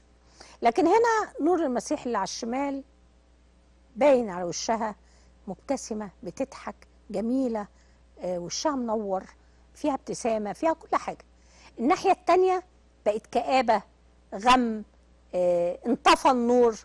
بقت شكلها مريب حتى. ففي الحالتين ده الفرق بين الصورتين. ده ما يهمنيش. إن شاء الله يركبوا لك قرون وتبقي شيطان ماليش دعوة ما يهمنيش. اخترتي طريقك انت حرة برضه. مع إن مع إن أنا سألت محامين إن المفروض هي بتطلع البطاقة وهي عندها 18 سنة. بتبقى بالغة 18 سنة. لكن ليس لها الحق في إنها تغير دينها قبل ال 21 برضو من ضمن الحاجات آه طلعتي بطاقة لكن ليس لك الحق إن أنت تسحبي فلوس من البنك. فإزاي سحبتي فلوس من البنك؟ زي ما أنت بتقولي في الفيديو. إزاي مضيتي على إشهار إسلامك وأنت لسه ما كملتيش حتى العشرين؟ إزاي كل ده؟ الأهم أنت خرجتي. بالسلامة. الدولة خايفة من إيه؟ أبوها وأخوها وعيلتها كلها يشوفوها. وبعد كده أنت حرة. اعملي اللي أنت عايزاه. اعملي اللي أنت اللي هتشيلي فوق دماغك. الطين هتحطيه فوق دماغك. دي مش مشكلتنا. بس من حقهم هم ما جابوش كيس بطاطس في البيت وبعد كده رموه في الزبالة. لا. دي بني آدمة عايشة معاهم أكلة شاربة حتة من جسدهم حتة من جسدهم 19 سنة. 19 سنة. كل يوم بتكبر قدامهم. كل يوم بت... بت... بتبقى أحسن وأحسن. بيربوا ويعلموا ويكبروا ويشغلوا وتروح وتيجي ويودوها للدكتور ويعالجوها. يعني 19 سنة هي حتة منهم. فجأة كده تقول لا مش هخليك تشوفها. اللي هو الأمن يعني لأنها خلاص أسلمت. ما مع السلامة بس أشوفها أتأكد أطمن إنها بخير. نسمع أخوها الأول ووالدها. أستاذ يوسف أهلا وسهلا بحضرتك. أهلا وسهلا بك يا أستاذ. آه، أشكرك جدا إن حضرتك آه، وافقت إن أنت تطلع معانا على الهوا. وطبعا قبل أي أسئلة. عايزين نعرف تطورات اللي حصلت من بعد ما مع الأمن طبعا من بعد ما الفيديوهات دي ظهرت. نعرف الأمن حصل معاه إيه في تطورات ما فيش تطورات إيه آخر الأخبار؟ اتفضل. اولا أنا ليا الشرف إن أتكلم. أشكرك جدا ربنا يخليك. اتفضل. معاك يا فندم لغاية دلوقتي مفيش أي جديد. ما كنت برضه مكان لغاية دلوقتي مفيش اي تطور أوكي. في محضر مش كده اتعمل؟ آه في محضر اتعمل في البلد عندنا. المحضر تطوراته إيه اللي حصل فيه؟ نعم يا فندم. تطورات المحضر. خرج من الاسم راح لنيابة إنها تحقق معاكم ولا لسه مازال في الاسم؟ آه راح من النيابة واستدعوا ابويا من امبارح. كويس جدا. في آه، آه، أرقام تليفوناتها اللي اتقفلت؟ أنا سمعت طبعا الفيديو بتاع والدك وحاكي كل حاجة بالتفصيل بس إحنا دلوقتي بحاول معلش أوضح للسادة المشاهدين النقط اللي والدك مثلا كان المفروض يعرفها للناس عشان خاطر الناس اللي مش عارفة أو اللي عندها أسئلة إحنا بنسألها ليك. المفروض إن هي عندها رقمين والمفروض إن الرقمين دول. اتكتبوا في المحضر أو أي عدد من الأرقام رقمين ثلاثة زي ما هي عندها واحد مش مشكلة بس اتكتب في المحضر من شغلة النيابة اللي حضرتك رحت ووالدك راح للنيابة إن النيابة تجيب سجل آه، التليفونين دول أو آه، خط سير التليفونين. هي راحت فين؟ جت منين؟ اتفتح إمتى آخر مكالمة؟ قبل آخر مكالمة؟ كلمت مين؟ وهكذا. هل ده حصل ولا ما حصلش؟ يا فندم حضرتك زي ما قلتي المفروض ده شغل النيابة. أيوه. أنا امبارح رحت أسيوط للمباحث الجنائية اللي بتاعت الإنترنت. رحت من الساعة 9 لغاية الساعة 9 بالليل على أمل إنهم يجيبوا لي آخر الأرقام اللي كلمتها أو أو ال- الصفحات اللي نشرت ال- الفيديوهات دي. آه، مين اللي صاحبها؟ آه، ممكن يكون في دليل برضو ممكن يكون في كيد برضو دليل من الساعة 9 لغاية 9 بالليل يا فندم قعدنا علشان يقول لي خلاص خلاص خلص المحضر على كده. قلت له يا فندم أنا مش جاي عشان تقول لي خلاص خلص المحضر على كده. أنا جاي على أساس إنك تقول لي آخر الأرقام اللي كلمتهم آه، تعملي تتبع للرقم آه، الصفحات اللي منزله الفيديوهات دي بناء على إيه؟ آه، ومين الادمى بالصفحات دي. واكيد برضه ليه صله بال- بالفيديوهات اللي عمالة تنزل إن هو الصفحة بتاع صدى البداري أول صفحة نزل الفيديوهات دي. فإحنا اسمها قلنا إيه؟ صفحة إيه؟ صدى البداري معلش أول كلمة؟ صدى البداري صدى صدى. آه معلش ما سمعتها صدى البداري. لا ولا يهمك. عايزة أقول للساده آه. المشاهدين إن هم من آه، البداري محافظة أسيوط. فعشان كده الصفحة اسمها صدى البداري. حبيت أعرف حضراتكم يمكن الساده المشاهدين ما يكونوش عارفين هو من محافظة إيه. طيب صدى البداري دي هي اللي نزلت الفيديوهات. مش كده؟ الفيديوهات دي تمام. الفيديوهات دي آه، مباحث الإنترنت قالت لك إيه عنها؟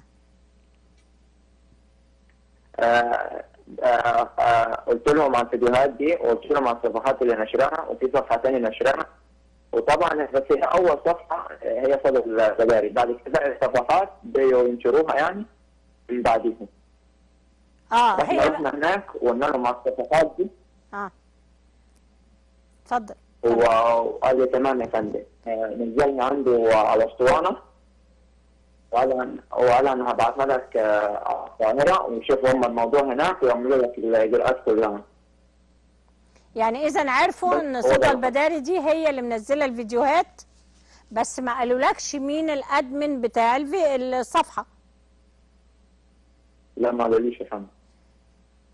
عرفت أي حاجة عن التليفونات كمان؟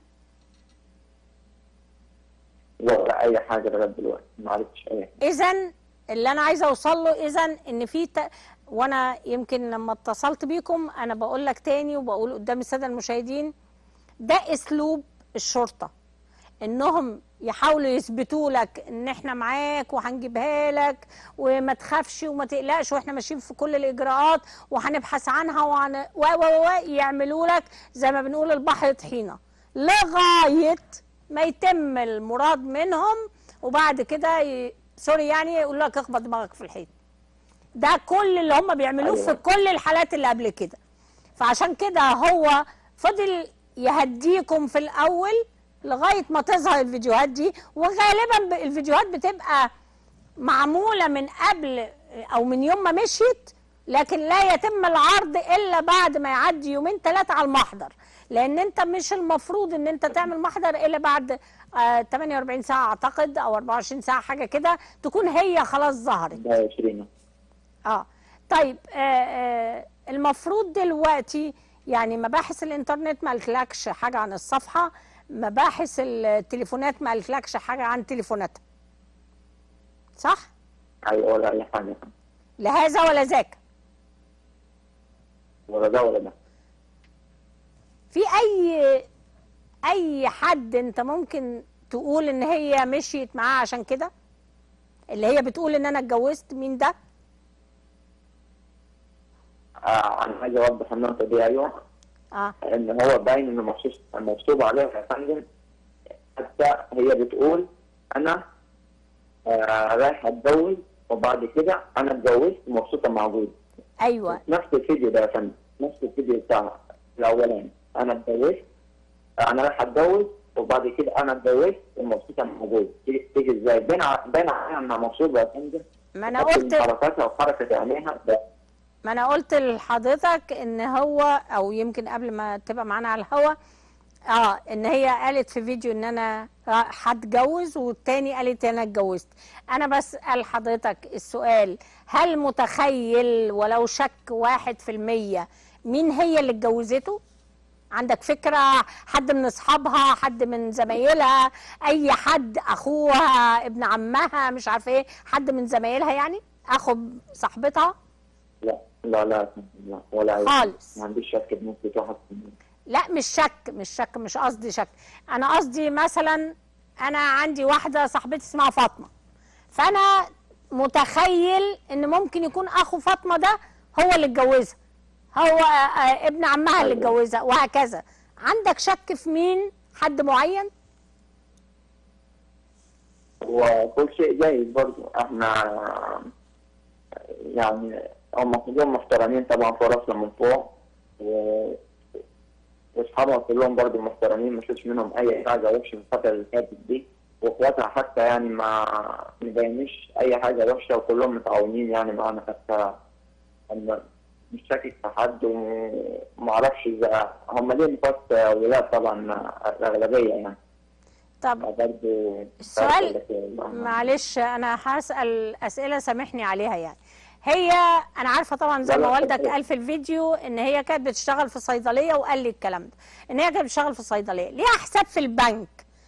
مش مهم المبلغ بس هي بتقول أنا سحبت الفلوس بتاعتي اللي باسمي من البنك وجزء تاني صغير. الجزء التاني الصغير هل فعلا حضرتك رحت عملت بصيت على حسابها في البنك لقيتها مثلا في كان في 100 جنيه خدتهم كلهم وخدت مثلا من حسابك أنت 10 جنيه زيادة؟ أنا بتكلم مثل كله مثل أخدت فعلا حسابها كله على الكامل وأخدت من حساب حد تاني فلوس زي ما هي قايلة في الفيديو؟ آه، حضرتك آه، هو مامتها نفس اليوم آه، قالت لها آه، تسحبي مبلغ آه، 400 جنيه. م- مصاريف للكلية. آه، علشان بس آه، الحاجات اللي بتشتريها والحاجات اللي تبع الكلية اللي هي الحاجات البسيطة دي. آه واللبس. بس هو ده المبلغ اللي هي بتقول عليه مبلغ بسيط بجانب المبلغ اللي سحبته. يعني فعلا سحبت فلوسها واخدت 400 جنيه من حساب مامتها. آه. آه. يعني هي اللي هم يا بتقول فندم ال- ال- الحساب بتاع مامتها آه. هي محولاه وعاملاه باسم أخت مامتها اللي محولاه باسم ماجدة؟ آه عاملاه باسم أخت آه عشان كده قدرت عشان إنها تاخد منه. آه يعني هي يعتبر الحسابين أيوة. واحد تقريبا. أيوه. أيوه. آه عشان كده قدرت تاخد من البنك ده اللي كان نقطة من النقط اللي وقفت عندها. طيب نرجع للجواب اللي هي ويا ريت نشوف الجواب بعد إذن مخرجنا.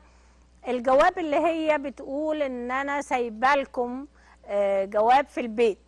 الجواب ده موجود فعلا لقيته جواب في البيت هي كاتباه وبتقول إن أنا همشي زي ما هي كاتبة؟ الفيديو ده منشور امبارح تمام؟ لا الجواب مش الفيديو. ماشي ما هو الجواب آه، ما- منشور برضه امبارح. آه. أنا امبارح كنت آه، في اسيوط أنا وعمي ساعة لما بقول لك آه، المباحث الجنائية بتاعت الإنترنت. أيوه. وأبويا كان كان بره برضه. آه. و... وكان في واحدة جيراننا فندم في الشارع آه يا دوب أول ما نزل الفيديو أيوه. آه سمعت الفيديو وجاتت على طول البيت عندنا. وبصت في المكان اللي هي قالت فيه بالظبط اللي هو فوق السرير بتاعها آه عند عزة التليفونات. وجيراننا جاتت وفتشت ما سابتش حتة لو فتشت فيها آه فوق السرير بتاعها مش في المكان ده بس في كل الاتجاهات في السرير يعني. وما لقيتش أي ورقة ولا أي جواب ولا أي حاجة. يعني هي في الكلام بقى كده يبقى هي بتكذب إن هي ما سابتلكوش لا ورق ولا قالت إن أنا ماشية ولا قالت هتوحشوني يا ماما زي ما مكتوب في الجواب ولا أي حاجة. ده بي... ده بيدل على إنه مغصوب عليها يا فندم. هنخلي مغصوب عليها هنخلي مغصوب. عليها ده الاحتمال الأخير. لكن أنا بتكلم على إنها بتكذب. تمام. أنا بركز على إنها بتكذب. وما دام بتكذب يبقى هي مجبرة إنها تقول كده. ده اللي أنا. عايزة أوصله لحضرتك تمام. لأن مفيش حاجة ت... يعني تجبرها إنها تكذب لو أنا ماشية بمزاجي هكذب ليه هقول لكم إن أنا سايبة لكم ورقة وحطها لكم في البيت ومفيش أصلا ورقة يبقى ما دام في لغز الكذب وفي أحب نقطة الكذب يبقى هي. بتكذب نعم أحب أوضح حاجة ثانية اتفضل هي هي لو كانت رايحة بمزاجها زي زي مثلا ما في ناس بتقول وبرضاها هي لو ماشية برضاها فعلا الجواب ده مثلا بتسيبه في إنها تتشاف إن إحنا نقدر مثلا نشوفها مكان معين مثلا في البيت صح، صح. مثلا بنروح بنروح عليه كتير صح. تروح حاطة فيه الورقة دي. مكان يتشاف يعني مش مكان آه، فوق السرير بس مين هيدور هناك يعني بالظبط اللي لسه كنت هقوله يعني لو هي بتقول زي ما حضرتك قلت إن في واحدة من الجيران وجت قعدت دورت والكلام ده كله. لو هي عايزة تعرفكم إنها مشيت هتحطه على ترابيزة السفرة على ترابيزة على كرسي على أي حاجة. أي حد رايح جاي هيبقى في وشه ياخد الورقة يقراها يعرف إنها مش راجعة تاني. لكن ما في حتة وهم عمالين يدوروا عليا في الإقسام وفي البوليس وفي المستشفيات ومش عارفة إيه وهم مش عارفين أصلا إن أنا راجعة ولا مش راجعة.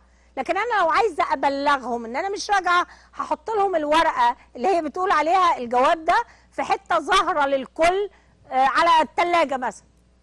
بحيث إن الكل هيشوف دي فخلاص ما يقعدوش يدوروا في المستشفيات وفي الإقسام وفي حتة خلاص إحنا عرفنا إنها مش في مستشفى.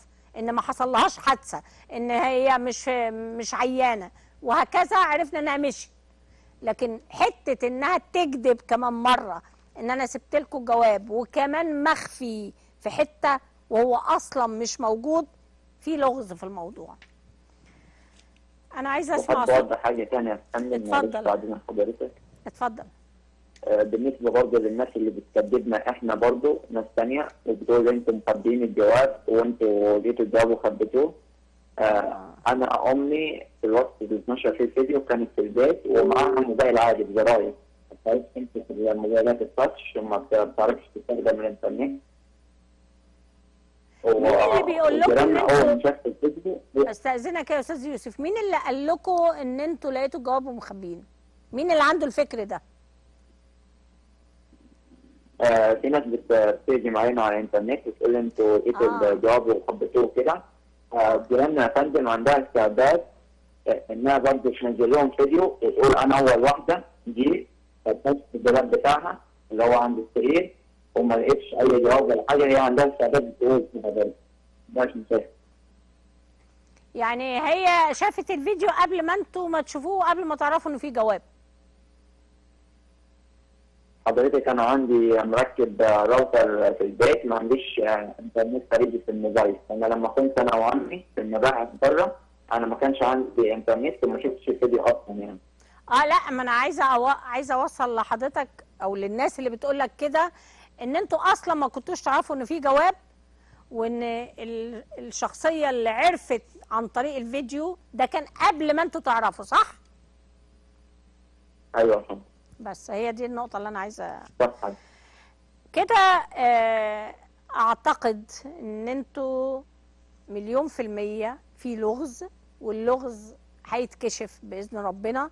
بس اللي ادينه واللي آه، أركز عليه جدا هو موقف الشرطة اللي إحنا تعودنا عليه للأسف. إن البنت ساعات في بعض الأحيان بتبقى عندهم في جوه الاسم جوه الاسم قاعدة جوه الاسم ويقولوا لك إحنا بندور عليه.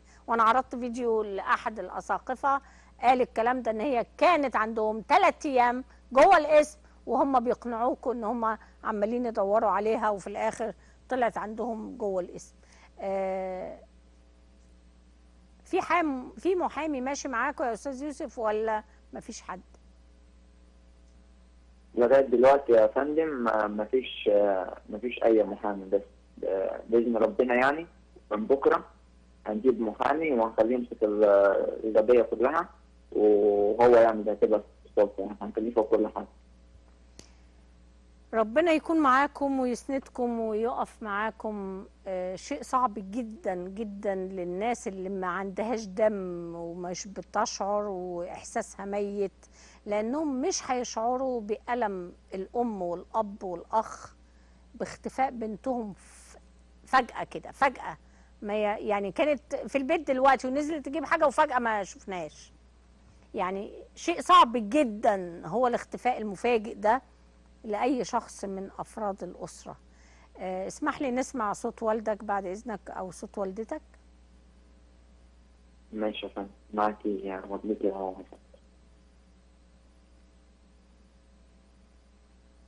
أيوه حضرتك معاك سلام ونعمة يا أمي. سلام. ونعمة ليك سلام سلام آه، أنا عارفة إن يعني في كتير من الأمهات البنت بتبقى سرها مع والدتها.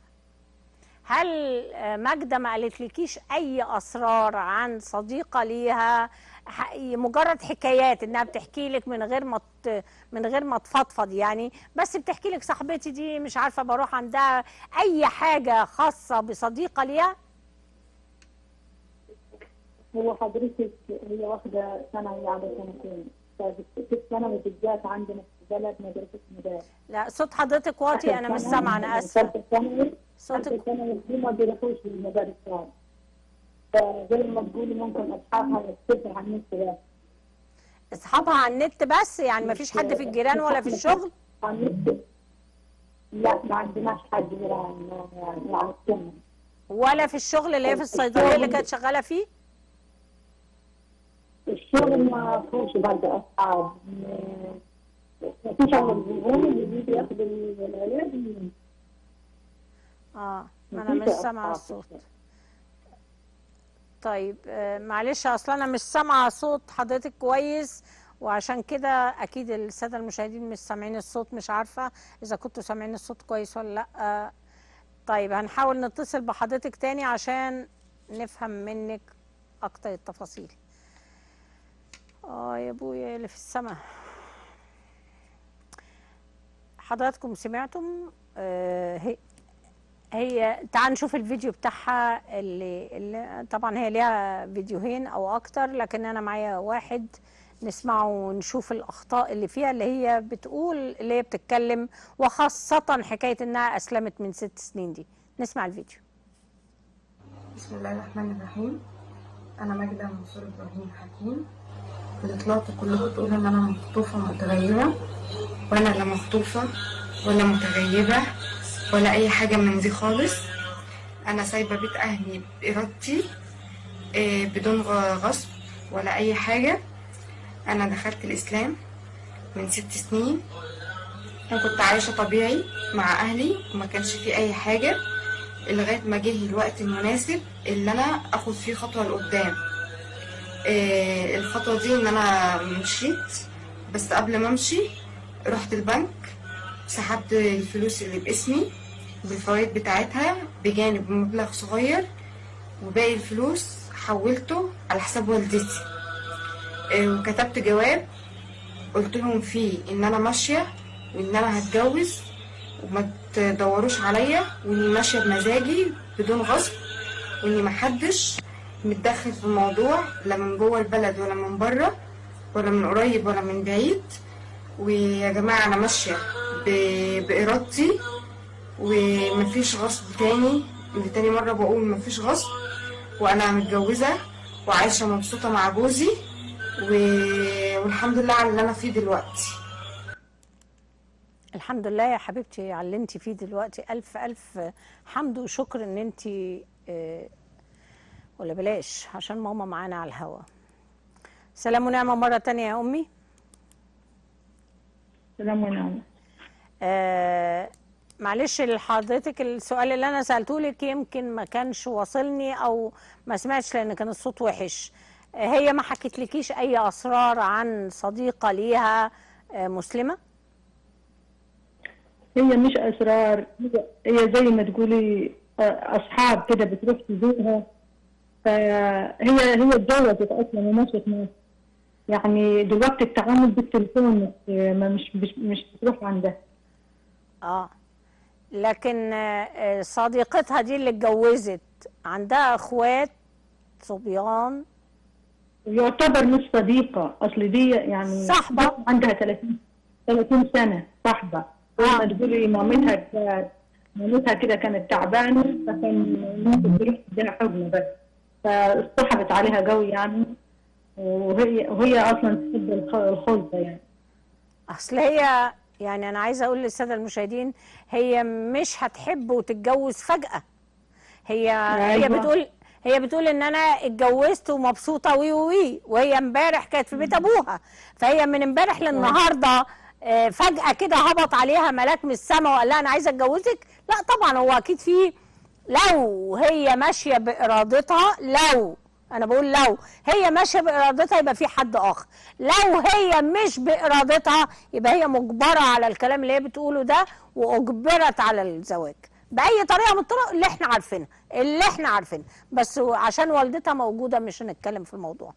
طيب أنا عارفة يا أمي أنا عايزاكي توجهي رسالة لماجدة وتقولي لها أي رسالة وأكيد هذه الرسالة بإذن ربنا هتوصل لها اتفضلي. أقول لها تعالي لأمك وأختك يا حبيبتي وأختك الصغيرة أختك الصغيرة بتبكي عليكي و... وتقول أنا عايزة ماجدة. وباباها وباباها تعب النهاردة و... وحطوا له أكسجين في المستشفى و... وعملوا له إشاعة. سامعة يا ماجدة؟ والدك تعبان يا ماجدة. سامعة؟ والدها تعبان. صارت دكتورة في المستشفى والصورة الصورة مش بعتها لي. وخالها خالها يا دكتورة ده خالها خالها حتة منه خالها بيموت خالص لا قادر يشتغل ولا قادر ياكل ولا قادر يشرب. وخالها شوفي هي بحبك كل الفلوس اللي اللي بنقول لك عليها دي في البنك خالها هو اللي بعت مش أبوها. أبوها بيشتغل باليومية يشتغل يومية و وعشرة لا يعني ممكن ما يشتغلش غير يومية في الشهر من ساعة ما وقف اللي من كورونا دي ووقف الحال من شهر ثلاثة ما دخلتش عليه يومية يا دوبك في موسم الأيام دي اسمه موسم رمان عندنا. يا دوبك يا دوبك هشتغل فيه وحصل اللي حصل ووقف وقف عن الشغل وقعد في البيت. كل الفلوس دي اللي بتقول لك عليها خالها هو اللي بعتها من البلاد ربنا يمد بيموت بيموت بيموت عليها. بعد الشر التليفون التليفون اللي واخداه ده تليفون حديث قدير جايبه لها خالها برضه. خالها بيموت عليها. عمامها بيحبوها موت. عمها عمها سكن في القاهرة. من يوم ما تغيبت وهو جه وسبع مرته وعياله وقعد عندنا من يوم من يوم من يوم تغيبت فيه. من أول يوم جه فيه ما ما مشاش من عندنا دلوقتي وسايب مرته وعياله في مصر. وعياله بتقرا في مدارس خاصة عيال صغيرة يعني والواحد في- يعني سايب شغله وسايب حاله. والعيال انت عارفة آه، عايزة مصاريف ومدارس خاصة. ربنا يكون في عونكم قبل كل ده. ومعطل شغله. قبل كل ده يا أمي ربنا يكون في عونكم ويسندكم قبل المدارس وقبل أي حاجة إن اولا وأخيرا ده صرخة للدولة. آه، الواحد لو اشترى أنا آسفة بطاية فرخة من حقه إنها تبقى قدام عينه شايفها. فما بال دي حتة منه. من حق الأب والأم لو أنتوا واثقين إنها مش مجبرة على الإسلام وإنها ماشية بإرادتها وإنها وإنها بس طبعا بلاش التلقين اللي إحنا عارفينه. بلاش التلقين اللي إحنا عارفينه اللي أنتوا بتقولوا لها قولي كذا وما تقوليش كذا قدام أبوك وأمك. بس لو عندكم الشجاعة بأمانة ربنا لو عندكم الشجاعة خلوها تيجي وتقابل أهلها. أنتوا خايفين ليه؟ خايفين تظهروها ليه؟ وتقولوا لهم أهي بنتكم أهي اسألوها أنت ماشية بمزاجك ولا لأ. إيه اللي هيجرى؟ آه، معنى اخفائكم ليها ومعنى عدم موافقتكم إن هي تشوف أبوها وأمها أو هم يشوفوها معناها إن أنتوا خايفين إنها تقول أي حاجة يبان من كلامها إنها مجبرة. ما هياش خارجة بإرادتها. لكن اخفائها معناها إن أنتوا بتأكدوا إنها مش خارجة بمزاجها ولا بإرادتها. أتمنى الرسالة تكون وصلت وتكونوا فهمتوا إن أنتوا كده اللي بتأسلموها مش هي اللي عايزة تسلم. أنتوا كده اللي جوزتوها مش هي اللي عايزة تتجوز. أشكرك جدا يا أمي وبإذن ربنا هنتابع معاكي وإن شاء الله المرة الجاية نسمع خبر جميل بعودة ماجده إليكم وربنا يرجعها لحضنك ولحضن وصيتها كلها وخالها وعمها.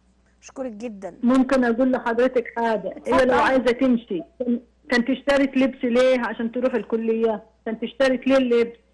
أرد وأقول لك هم بيقولوا إيه؟ اشترت آه، بقول لك آه، لا تحبي ارد يعني أنا أقول لك هم لو بيقولوا إيه؟ لو هي ناوية تمشي وعايزة تمشي كانت اشترت ليه لبس عشان تروح به الكلية؟ واللبس لا دلوقتي يعني آه، جايبينه بالقسط يعني المحل اللي شاريين منه. أقول لك يا أمي هم ليه. هي ليه اشترت الهدوم؟ أقول لك ليه هي اشترت الهدوم؟ اشترت لبس يعني آخر الشتاء اللي عدى ده. ما أنا بقول لك أقول لك ليه حبيبتي أقول لك ليه هي اشترت الهدوم عشان الجامعة؟ أيوه عشان- اشترت هدوم عشان الجامعة. أيوه هي اشترت عشان. no هي اشترت عشان خاطر تعمل حركة تمويه يعني ما تبينش إنها ماشية. هم بيقولوا كده مش أنت مش أنا ولا أنت. هم بيقنعوها بكده. اشتري هدوم آه، آه، آه، خليكي في البيت عادية خالص. اعملي مش عارفة إيه روحي الكوافير روحي الكنيسة روحي روحي عشان ما تبينيش ان انت بعد أسبوع ماشية. فهم اللي بيقنعوها لو هي فعلا على علاقة بحد هم بيخلوها بيخططوا لها تعمل إيه عشان ما يبانش انها بعد أسبوع ماشية. فهمتي؟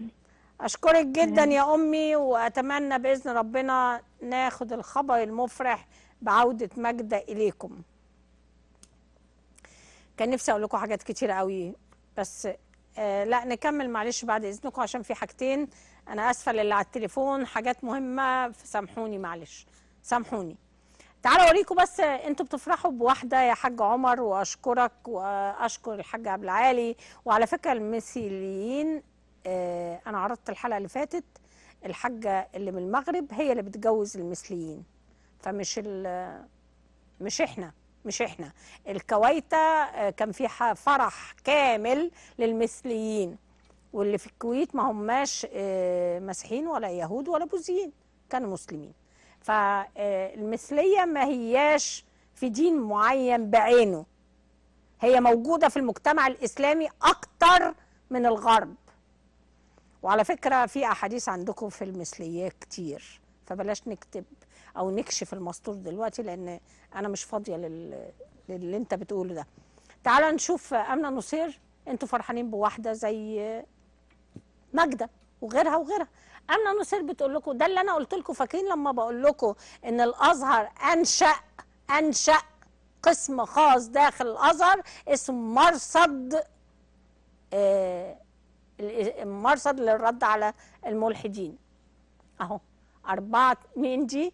أمنة نصير أستاذة العقيدة بجامعة الأزهر مش جامعة القاهرة ولا جامعة عين شمس بجامعة الأزهر. يعني المعلومة دي عندها بالتأكيد بالتأكيد.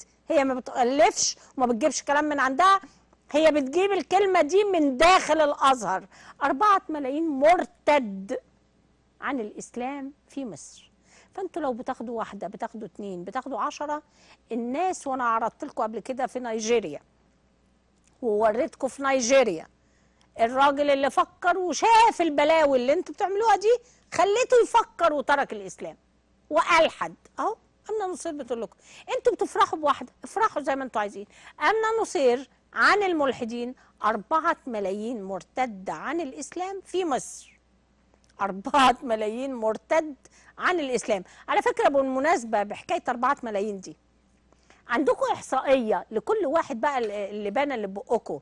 إحنا مليون وستمائة ألف آه آه، مليار وستمائة مليون مليار و500 مليون. ده إحنا قرب 2 مليار. عندكم إحصائية بتقول إن أنتوا العدد ده؟ الأربعة ملايين اللي في مصر اللي ألحدوا دول. برضو في البيانات الإحصائية عن الإسلام اللي بتتشدقوا بيها إن إحنا في مصر 90 مليون مسلم. يا ترى هتقولوا إن إحنا مثلا مثلا طبعا ده مش حقيقة إحنا 25 مسيحيين 25 وأكتر. ف يعني هاخد الكذب بتاعكم. أنتوا بتقولوا 90 وإحنا مثلا 10 مثلا. هتقولوا بعد شوية إن إحنا 86 مليون؟ ولا برضه هيفضلوا 90 وهيبقوا 95 كمان؟ هي بتقول 4 مليون ترك الإسلام. الأربعة دول في وسط إحصائياتكم ولا مش محسوبين؟ نشوف بقية الجملة اللي هي قايلها في الآخر تحت بعد إذنك. قالت الدكتورة أمنة نصير مفكرة وأستاذة الفلسفة الإسلامية والعقيدة بجامعة الأزهر الشريف جامعة الأزهر الشريف أنه إذا زاد التشدد هرب الإنسان إلى الإلحاد. لما التشدد بيزيد هو بقى بيشوف البلاوي اللي في التشدد فبيترك إله الإسلام ويلحد. إن أكثر أنا حاطة تحتها خط تخين أهو أكثر من أربعة ملايين مرتد عن الإسلام. أكثر مش أربعة بس. اللي بعده ده خلاص أمنة نصير آه، حجري بسرعة. بعد إذنك سيبك من الحاج عبد الرحيم وسيبك من كل دول. آه، جمع بتاع ده قضية فيرمونت مهمة وفرنسا مهمة. فح... خلينا في فيرمونت بسرعة. آه، في طبعا يمكن حضراتكم كلكم عارفين إن كان في بنت تم اغتصابها في فندق اسمه فيرمونت في آه، مصر. آه، سبعة من الشباب خدروها اغتصبوها طبعا خدروها. ما تنسوش كلمة خدروها دي ها؟ وبعد ما اغتصبوها كتبوا كل واحد منهم أول حرف من اسمه على جسدها. الله عليكم. يا إيه ده؟ إيه إيه الجمال ده؟ إيه رأيك يا حاج عمر؟ إيه رأيك أنت والحاج عبد العال؟ اغتصاب أهو. اغتصاب. دول بوذيين ها؟ مش كده؟ المهم آه وهربوا بعدها بكم يوم هربوا إلى لبنان وطفشوا من مصر. وللأسف الشديد من كبار كبار القوم رجال أعمال ورياضيين ومش عارفة مين. المهم برضو عشان ما أطولش. اتقبض على الثلاثة اللي حضراتكم شفتوا دول الانتربول جابهم من لبنان وسلمهم لمصر. والحاج ابن حلمي طولان ده كان بيبكي طول بكاء في الطائرة انهيار آه، ابن حلمي طولان. ده على فكرة رجل رياضة مش هدخل برضه في التفاصيل. بعد ضبطه وترحلوا والاثنين اللي على اليمين والشمال دول اخوات كانوا من ضمن الحلوين السبعة. الأهم بقى مش ده اللي يهمني؟ أهو. لما صفحة كاملة عارفين يعني إيه صفحة كاملة في أكبر جريدة في أمريكا؟ أكبر جريدة في أمريكا نيويورك تايمز بتاريخ 10 3 يعني من خمس أيام. صفحة A 15 أنا حاطة لكم عليها بالبتاع أهي يعني بالعناوين عشان اللي عايز يتأكد يتأكد. الصفحة الكاملة بتحكي حكاية هذه البنت. الموضوع إن في حاجة اسمها هنا حتى في أمريكا اسمها movement movement دي زي مجموعة من المخرجين والسينمائيين ومش عارفة إيه بيخلوا البنت الممثلة المبتدئة آه، تدفع الثمن جنسيا عشان تصعد إلى عالم السينما. فهم بي- بيقارنوا movement Me Too movement Me Too ده في جوه المقالة مش هدخل فيها في التفاصيل إن هذه البنت اللي عندها 22 سنة يتم اغتصابها على يد السبعة من أولاد رجال الأعمال. آه وأنا حاطة لكم خط تحت نيويورك تايمز أهي. يعني أنا بحزن جدا جدا لما بلاقي الإعلام الأجنبي بيكشف مستور حاجة في مصينا الحبيبة. طبعا الجرائم دي ممكن تكون في أي دولة موجودة في العالم ما فيهاش مشاكل. لكن قد إيه بحزن لما بلاقي حاجة عن مصر بالشكل ده. بحزن جدا. آه، ده بالنسبة لقضية فيرمونت. فرنسا بقى بالنسبة لي مهمة جدا. معلش هستأذنك ناخد خمس دقايق كمان بالظبط أو حبة صغيرة. آه، فرنسا بالذات أنا قلت لحضراتكم نشوف أول حاجة في فرنسا أو في ملف فرنسا أدي البنوتة أو اللاعب الإسرائيلي الأول. اللاعب الإسرائيلي اسمه ضياء سبع. ده إسرائيلي من عرب إسرائيل. أهو ده. هل ده مسلم ولا مش مسلم؟ مسلم. ضياء سبع من عرب إسرائيل. انتقل من الفريق ال- لاعب الكرة القدم الإسرائيلي إلى فريق الإمارات اسمه فريق النصر. طبعا دلوقتي التطبيع بالنسبة لكم جريمة جريمة. عشان أعلم أو يعني أعرفكم إن البلد هي اللي بتحكم بالقانون. يا مصينا الحبيبة القانون لما بيتنفذ بيتنفذ لأن الدولة بتجبر مواطنيها على تنفيذ القانون. في فرنسا للأسف الشديد هي اللي سمحت بهذا ال- التسيب من ال- المهاجرين اللي جم في فرنسا. لكن شوفوا الصورة دي. أنا وريتكم كام صورة قبل كده للمسلمين بيسدوا الشارع عشان يصلوا. دول في إسرائيل على فكرة. دول في إسرائيل. ليه ما سدوش الشارع زي ما بيسدوا في أوروبا؟ في فرنسا وريتكم صور في إيطاليا وريتكم في بريطانيا وريتكم كل صور اللي بيسدوا الشارع. وهنا ط- أنا عندي فيديوهات بالهبل على سد الشارع في فرنسا. إحنا بنتكلم عن فرنسا. دول في إسرائيل. القانون في إسرائيل أجبرهم إن هم يسدوش الشارع. اذا الدولة هي اللي متحكمة في تنفيذ القانون وهي اللي تنفذ وهي اللي تكسر القانون. دي إسرائيل. البنت اللي اتضربت وعرضتها في الف... دي في إسرائيل برضو الصورة دي في إسرائيل. البنت اللي عرضتها الأسبوع اللي فات في فرنسا اللي ضربوها وخرشموا لها وشها كله عشان لابسة جيبه قصيرة. حد في إسرائيل من المسلمين زي ضياء ده يقدر يضرب البنت دي؟ يقدر. حطوا تحتها خط. يقدر يضرب البنت دي لأن الجيبة بتاعتها أو الفستان بتاعها قصير؟ ليه؟ اشمعنى؟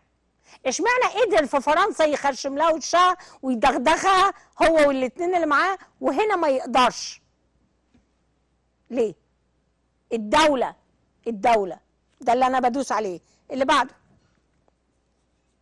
آه ماكرون قال ده بقى ده لاعب فرنسي. اسمه بوغيبا. اسمه إيه؟ أنا بوغيبا. فرنسي. عايش مع الحلوة الأمورة دي يا حاج عمر اهو ها؟ خليك مركز. آه وخلف منها طفلين. مخلف منها طفلين.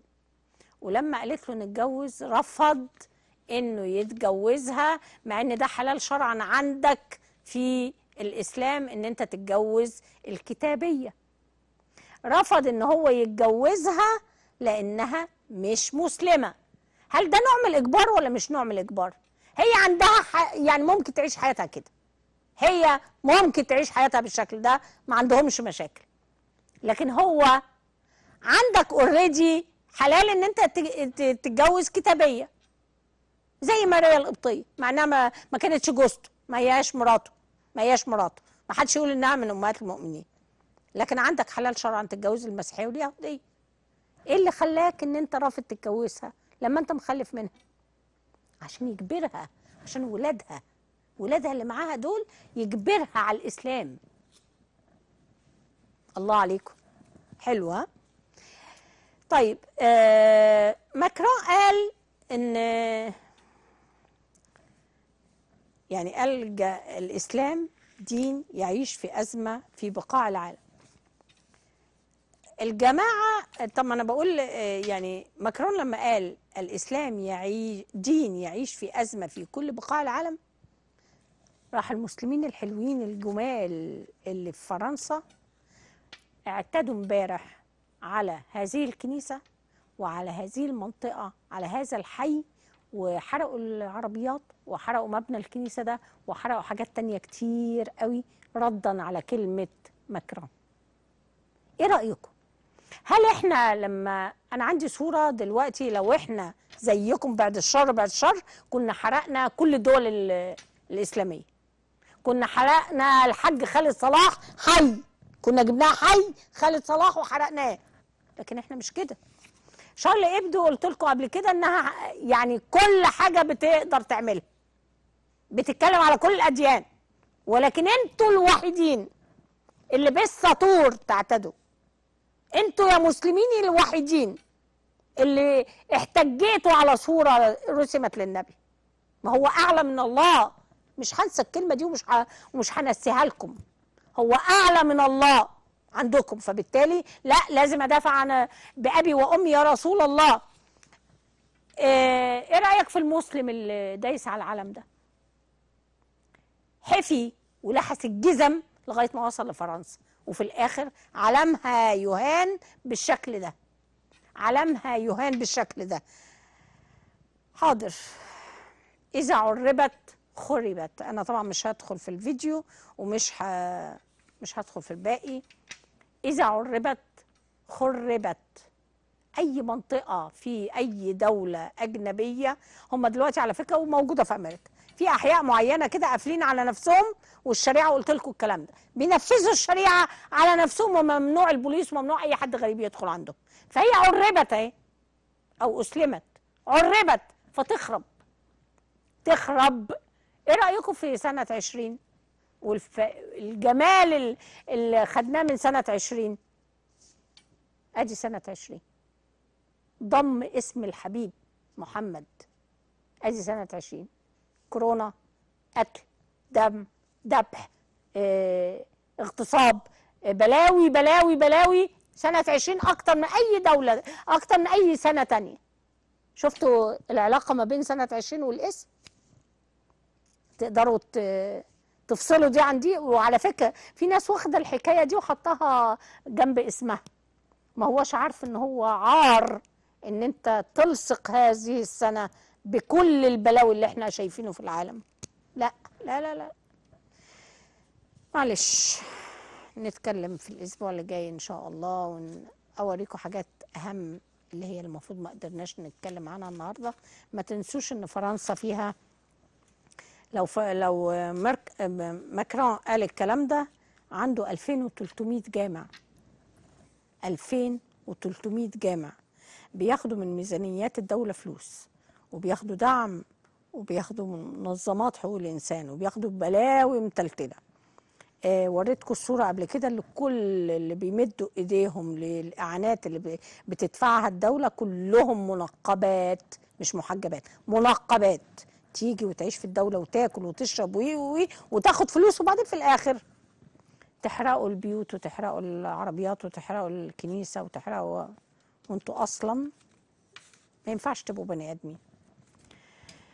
آه، حلقة النهاردة أنا انفعلت فيها. سامحوني معلش لكن محتواها يمكن وفيها حاجات كانت أكتر كانت هتخليني انفعل أكتر فسامحوني على اللي أنا قلته وانفعالي.